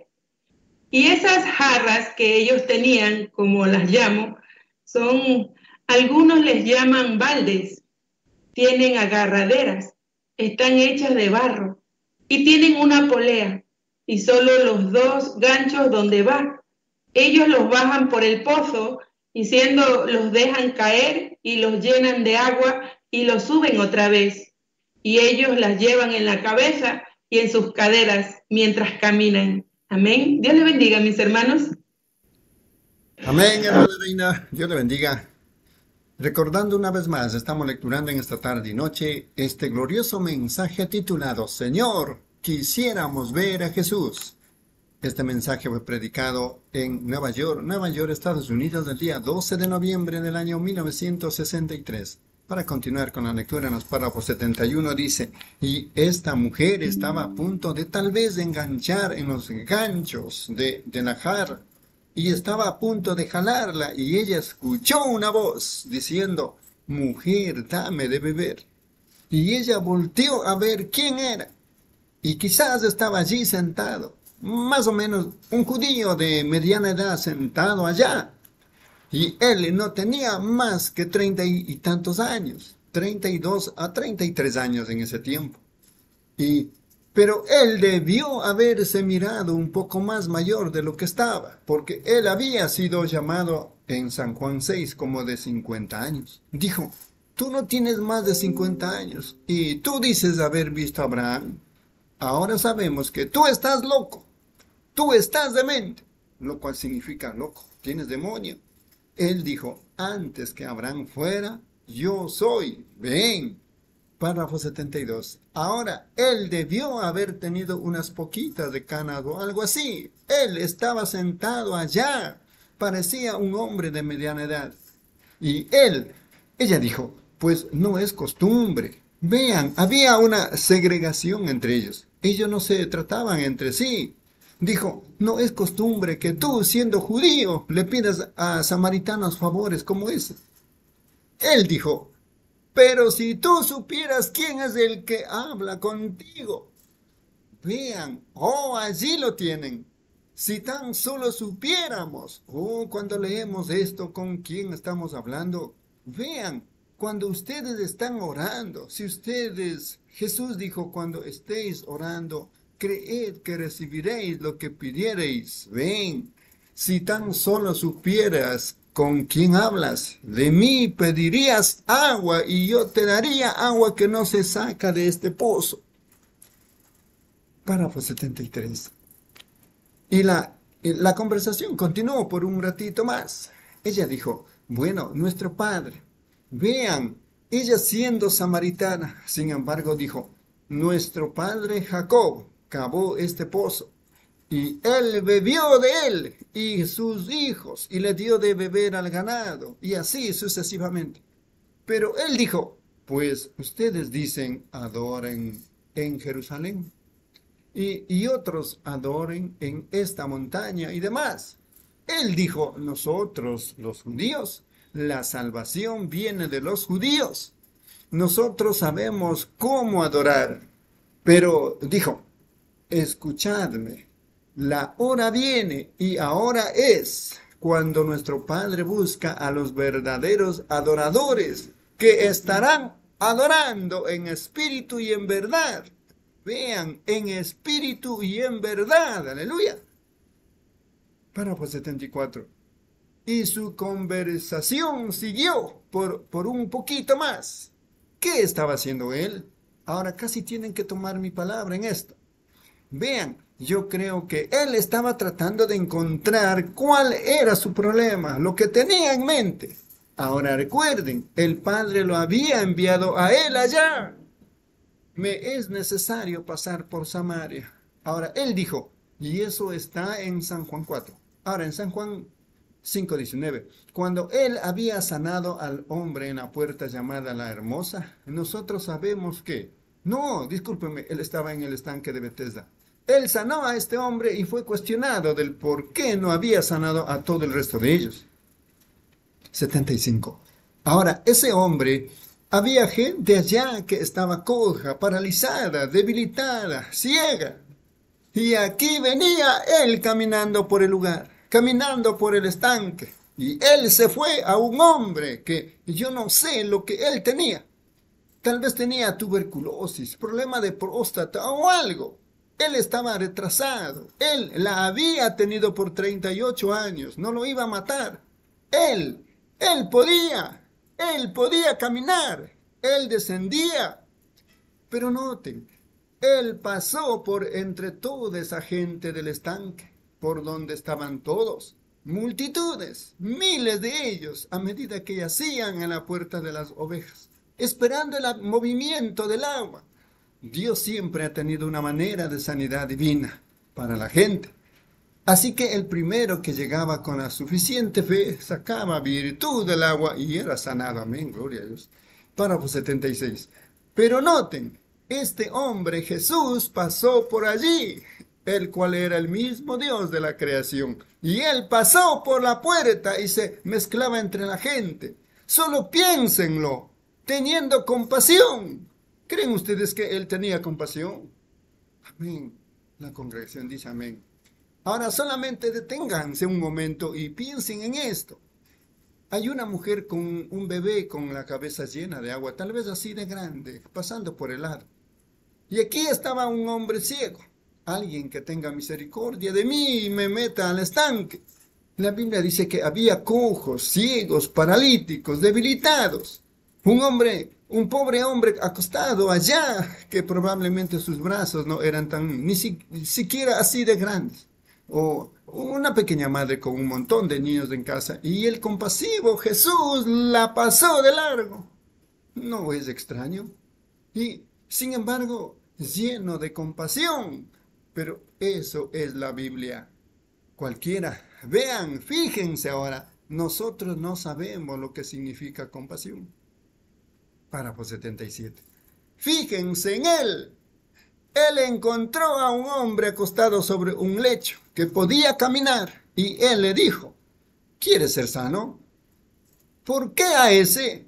Vean, ¿por qué a ese? Ahora observen y él les dirá, Jesús sabía que este hombre había estado allí en ese tiempo. Miren, todos estos años. Él lo sanó. Le dijo que tomará su lecho y que se fuera a su casa. Y él lo hizo.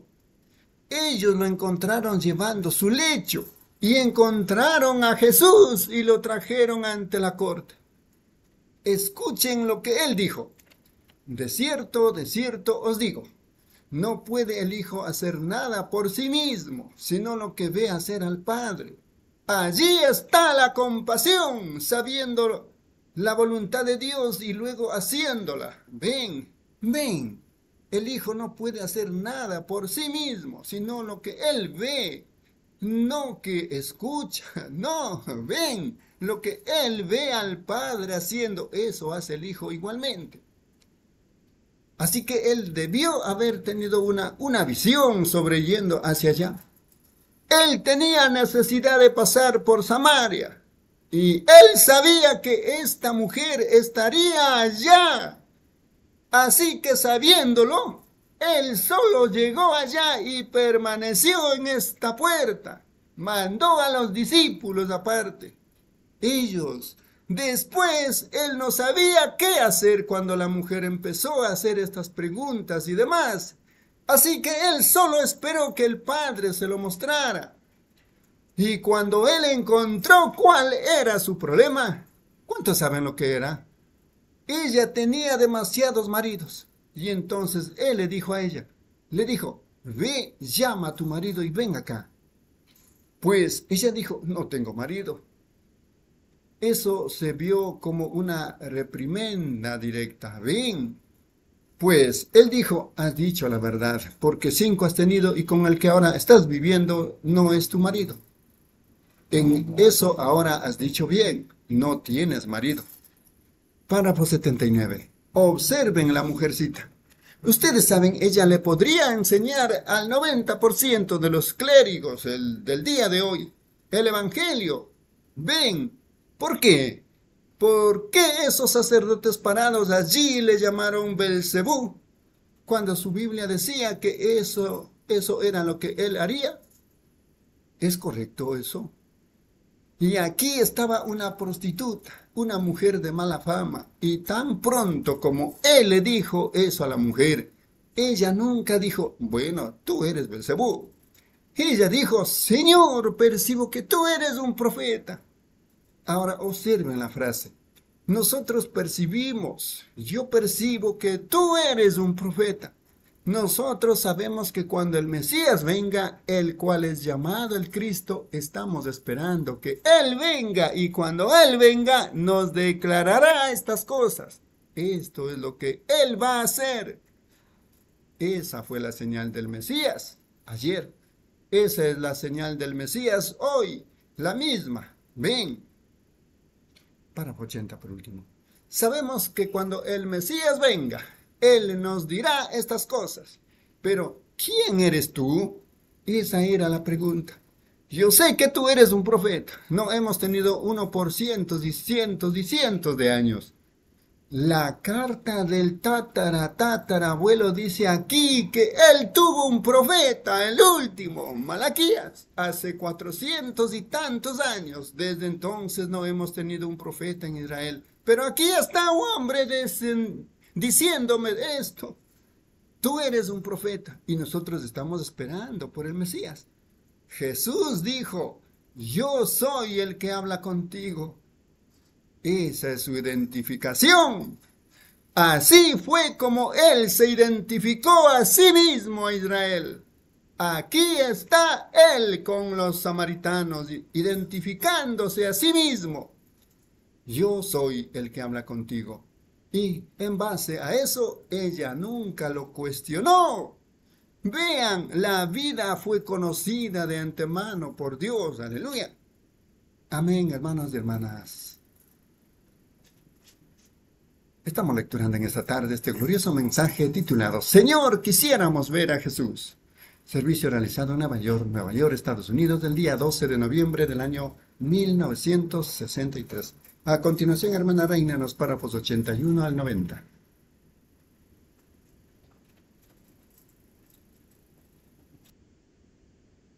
Amén. Dios bendiga mis hermanos. Continuamos con la lectura del mensaje. Señor, quisiéramos ver a Jesús. Párrafo 81. Y no interesa qué tanto esos fariseos trataron de ser religiosos. Jesús dijo, ellos, ellos fueron cegados. Él dijo, bien habló Isaías de ustedes. Tienen ojos, pero no pueden ver. Tienen conocimientos, pero no entienden. Ustedes son maestros y no saben de lo que están hablando. Se dan cuenta, ustedes tienen todas estas cosas. Porque miren, Jesús dijo, ningún hombre puede venir a mí si mi Padre no lo trajere y todo lo que el Padre me ha dado vendrá a mí. Y él dijo eso. ¿Lo dijo él? La congregación responde, amén. ¿Ven? 82. ¿Qué fue eso? Allí está la Biblia que dice en, el libro de Apocalipsis, en los últimos días cuando el anticristo se levante en la escena, tan parecido a la cosa real, engañará a los mismos elegidos si fuera posible. Pero, y luego él vuelve a decir, él engañó a todos los que estaban en la tierra, cuyos nombres no están escritos en el libro de la vida del Cordero, que fue inmolado desde antes de la fundación del mundo. Miren, sus nombres fueron puestos en el libro de la vida en el libro de la redención. Jesús vino a redimir a aquellos que tenían sus nombres en el libro. Y cuando el último nombre sea redimido, el Cordero toma el libro y sale. Eso es todo. Se termina la redención. Queda cerrada. Aquellos. 83. ¿Y qué era ella? Ella era una de las que tenía su nombre allá. No importaba en qué condición ella se encontraba, tan pronto como la verdadera luz del Evangelio impactó en esa pequeña prostituta, ella lo reconoció. ¿Por qué? Había algo allí adentro para desencadenarlo. Miren, ella lo reconoció. Usted pudiera vaciar agua en la gasolina, solamente lo retrasa, pero deje que un pequeño fuego lo impacte una vez y observen lo que sucede. ¿Ven? Se necesita la chispa de fe a la palabra de Dios. Cuando ellos saben que es la verdad, algo sucede. Ella no volvió a hacer otra pregunta. Ella supo que ese era el Mesías. ¿Por qué? Él se había identificado plenamente a sí mismo. Igual como Felipe dijo, pues tú eres el Hijo de Dios el rey de Israel. Hubo aquellos allá que dijeron, eso es, él es un adivino, eso es lo que él es. Él dijo, ustedes no serán perdonados de eso, cuando el Espíritu Santo lo haga. ¿Ven? Él lo dijo. Pero ahora observen aquí cómo él fue, se identificó con ella. Y ella corrió rápidamente a la ciudad y le dijo a los hombres, 84, ahora en realidad si hay alguien aquí del este, usted, la Biblia llega a ser un libro nuevo, a un hombre del oeste, que vaya una vez al este, vean, por causa de las costumbres, ellos todavía viven de la misma manera. Ella no tenía ningún derecho de ir a la ciudad y hablar con esos hombres. Ella no podía hacerlo. Ellos en realidad no la hubieran escuchado. Pero ella tenía un mensaje. Nada iba a detenerla. Vean, ella había encontrado la vida, algo que la había impactado. Ella corrió a la ciudad y le dijo a los hombres, venid, ved a un hombre que me ha dicho las cosas que he hecho. ¿No es este el mismísimo Mesías? ¿No es eso lo que hemos estado esperando? 85. Identificado como el Mesías. Y la Biblia dice que cuando Jesús entró a la ciudad, él no volvió a hacer eso ni una sola vez más. A ellos no pero ellos creyeron lo que la mujer había dicho y lo recibieron. Él no sanó a ningún enfermo. Él sabía que Felipe vendría a hacer eso. Por lo tanto, y los enderezaría después que el Espíritu Santo viniera. Así que él solamente les hizo saber que él era el Mesías. Amén. Ahora miren, estaban los judíos, perdón, estaban los judíos que reconocieron a Jesús. Él fue identificado al finalizar su dispensación como Mesías y de esa manera fue que él hizo. De la misma manera con los samaritanos. Ellos estaban esperando por un Mesías. De esa manera, él se identificó a sí mismo como Mesías. Ahora han pasado dos mil años de los gentiles que recibieron el Evangelio Ahora, nuestra dispensación se está terminando. La edad de la iglesia la estamos finalizando. Él es el mismo ayer y hoy y por los siglos. Nunca cambia sus planes. Y si Él estuviera parado entre nosotros esta noche, Él no sería un gran hombre con vestuario eclesiástico o un orador de discurso o conferencista o algo, pero Él nos probaría a nosotros que Él fue el Mesías. Amén. ¿Ven? Él dijo, cuando estuvo aquí en la tierra, Él dijo, como fue en los días de Sodoma, así será en la venida del Hijo del Hombre. Observen esto detenidamente. En los días de Sodoma y siempre ha habido tres clases de gente. Tres es un número perfecto, lo sabemos. Y siete es consumación. 40 es tentación. 50 es jubileo. Ustedes conocen las matemáticas de la escritura.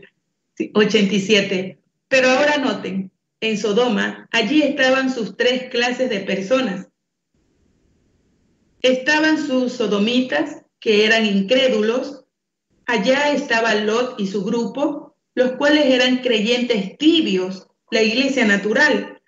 Allá estaba Abraham, el espiritual, llamado a salir fuera, elegido, allá afuera en el desierto lejos de Sodoma. Fíjense, tres ángeles bajaron del cielo un día. Los pecados de Sodoma habían llegado a ser igual de malos como están ahora en el mundo. Ellos descendieron. Ahora, ellos se miraban como los hombres, Estaban vestidos igual como el hombre se viste, con polvo en ellos, y sus pies estaban sucios por caminar. Y Abraham, sentado bajo el roble, los vio venir a la distancia. 88. Ahora nos estamos refiriendo a lo que Jesús dijo que sucedería en el último tiempo, justo antes de su venida. Ahora recuerden, los sodomitas eran los gentiles. Fíjense ahora, hallamos que ellos llegaron, estos hombres, y Abraham espiritualmente, notó que había algo en esos hombres que era diferente a los desconocidos ordinarios. Sencillamente hay algo. Cuando un creyente se encuentra con un creyente, cuando un creyente se encuentra con la palabra, cuando algo, igual que con la mujer, miren, ellos han sido ordenados para eso. Ellos no pueden evitar el creerlo. Hay algo que los impacta. Vean, ellos lo tienen. Y cuando Abraham vio a estos hombres acercándose, él salió y él dijo, mi Señor, ¿pudieras pasar y dejarme que traiga un poco de agua y que lave tus pies? Te daré un bocado de pan en tu mano y podrás continuar tu camino, pues por eso es que has pasado por aquí. Ellos se hicieron a un lado. Ahora, en la gran tienda principal era donde vivía Abraham y muchos de sus siervos, lo suficientes como para pelear un ejército, vivían alrededor de allí. Ellos eran ganaderos. Así que él corrió y le dijo a Sara, su esposa, ve a cernir harina o una comida. Ustedes saben cómo cernirla y amasarla.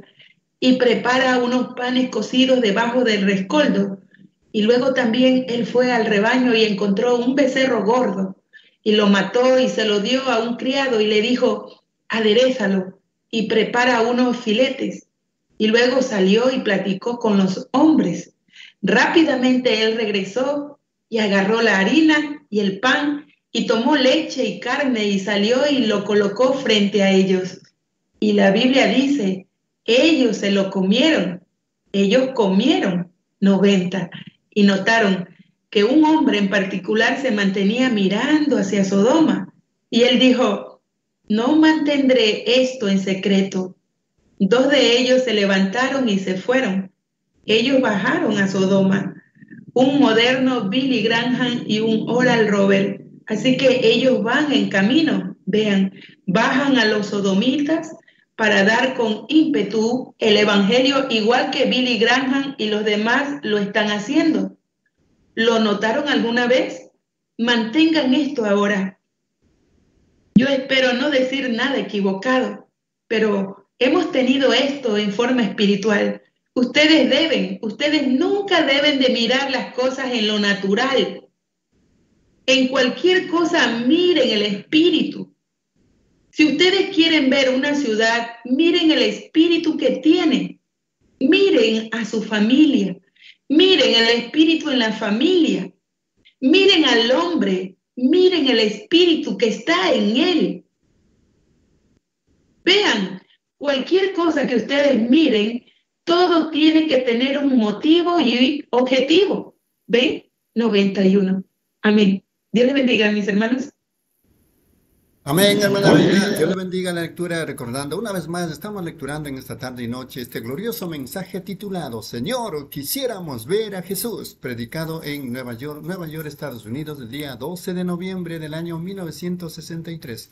Continuando con la lectura en los párrafos 91, dice, y observen aquí, ¿sabían que todos los grandes hombres que hemos tenido como Sankey, Finney, Modi, Moody, Knoll, Calvin y demás. Todavía no había habido uno en el campo con un ministerio a la iglesia nominal que terminará con HAM, como A, B, R, A, H, A, M, G, R, A, H, A, M.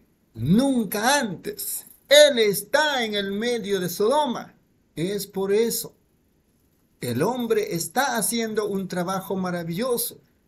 Es allí donde se supone que debe de estar.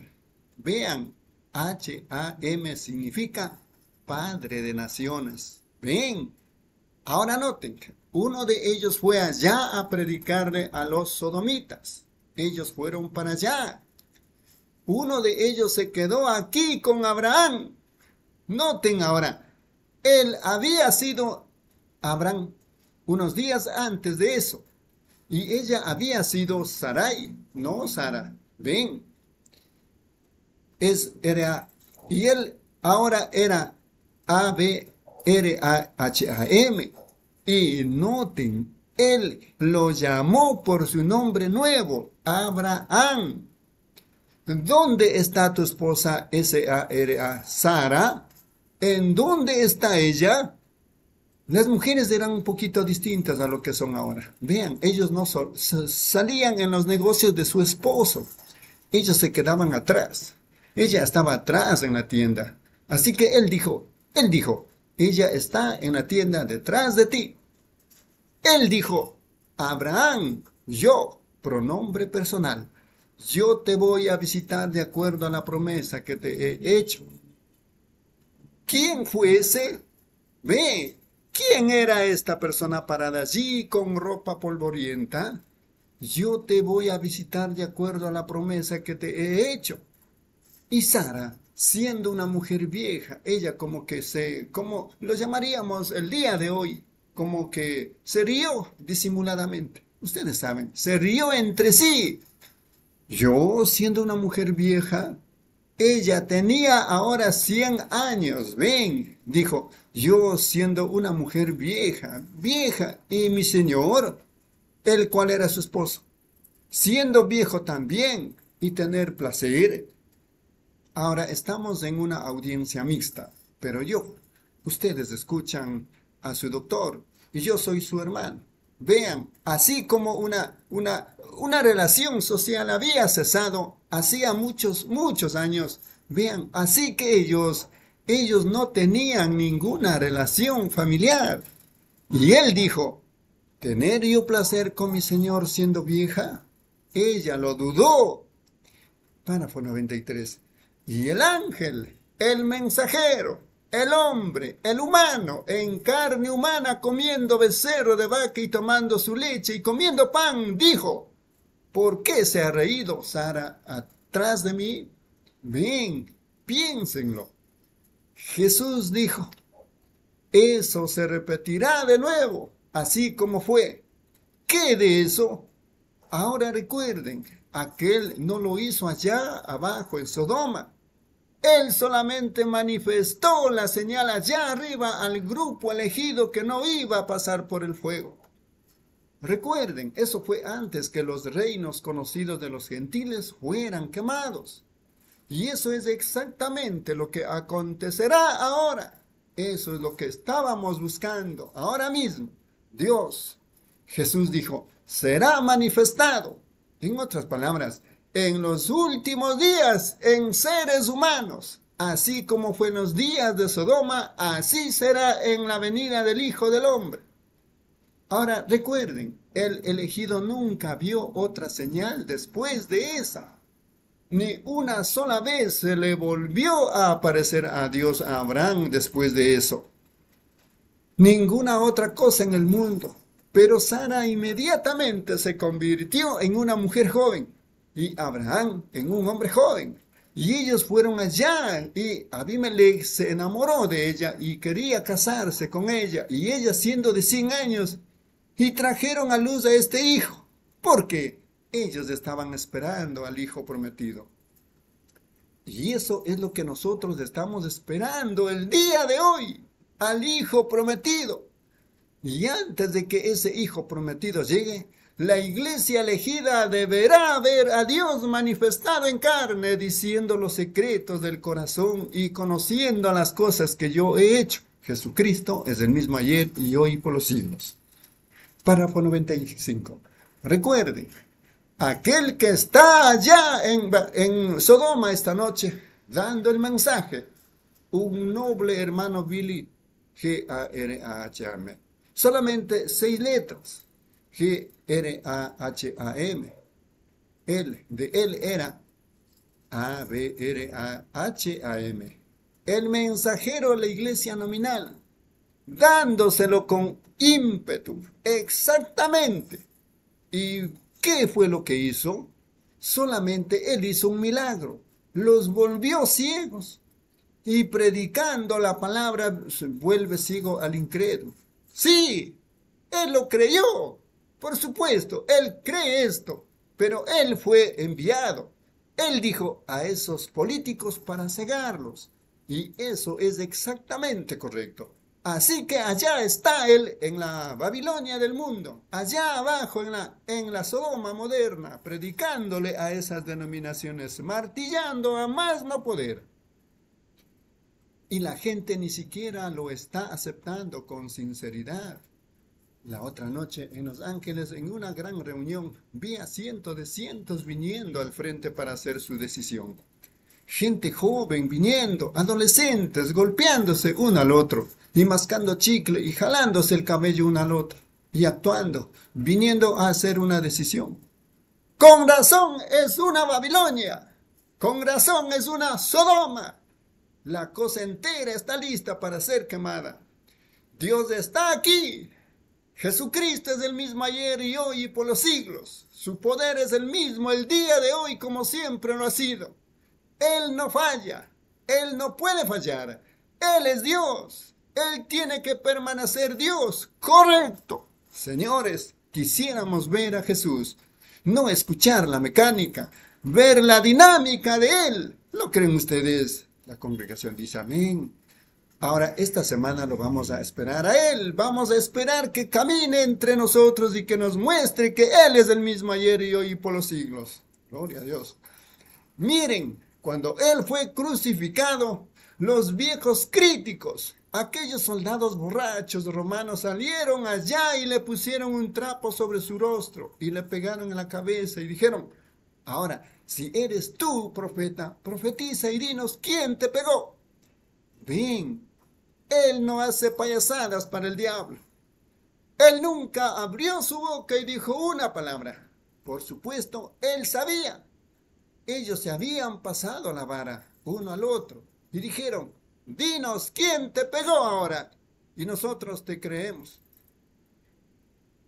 Vean, esos son los críticos. Ellos no lo creían. Él era un profeta, pero él no hace payasadas para la gente. Párrafo 97. Estas no son diversiones de feria. Esto no es algo como un espectáculo de plataforma. Es la presencia de Jesucristo es su poder entre la gente y debemos entrar en eso con lo más profunda sinceridad. Satanás también dijo, si eres el Hijo de Dios, tú dices que puedes obrar milagros, déjame verte hacer eso y hacer aquello. Él dijo, aléjate de mí, Satanás, porque escrito está, eso es correcto, al Señor solamente servirás y solamente a Él adorarás. Así que nosotros, o más bien, ahora al Señor, a Él solamente servirás. 98. Ahora nosotros sabemos que Él es el mismo. Ahora si venimos esta noche nos daremos cuenta entonces y Jesús no puede fallar porque Él era Dios. Él es la palabra. La palabra y Cristo son lo mismo. Entonces si la palabra lo prometió, la palabra, que esto sucedería en los últimos días, el espíritu de Elías había de regresar en el último día. Eso es correcto. Sobre la gente. Y él debe volver los corazones de los hijos de los padres de regreso a los padres.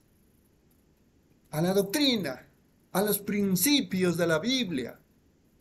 Ellos se han ido con la denominación, la organización, y el gran poder de Dios está por venir sobre la gente con una paz maestra que volverá sus corazones a recordar que Él sigue siendo Dios y Él es Dios.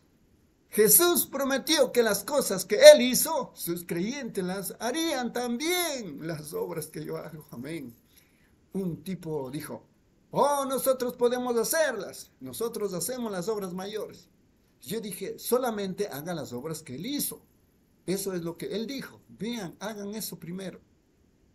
Él dijo, bueno, nosotros tenemos hermanos, denominaciones por todo alrededor, que está predicando el Evangelio por todo alrededor del mundo. Él no pudo hacer eso.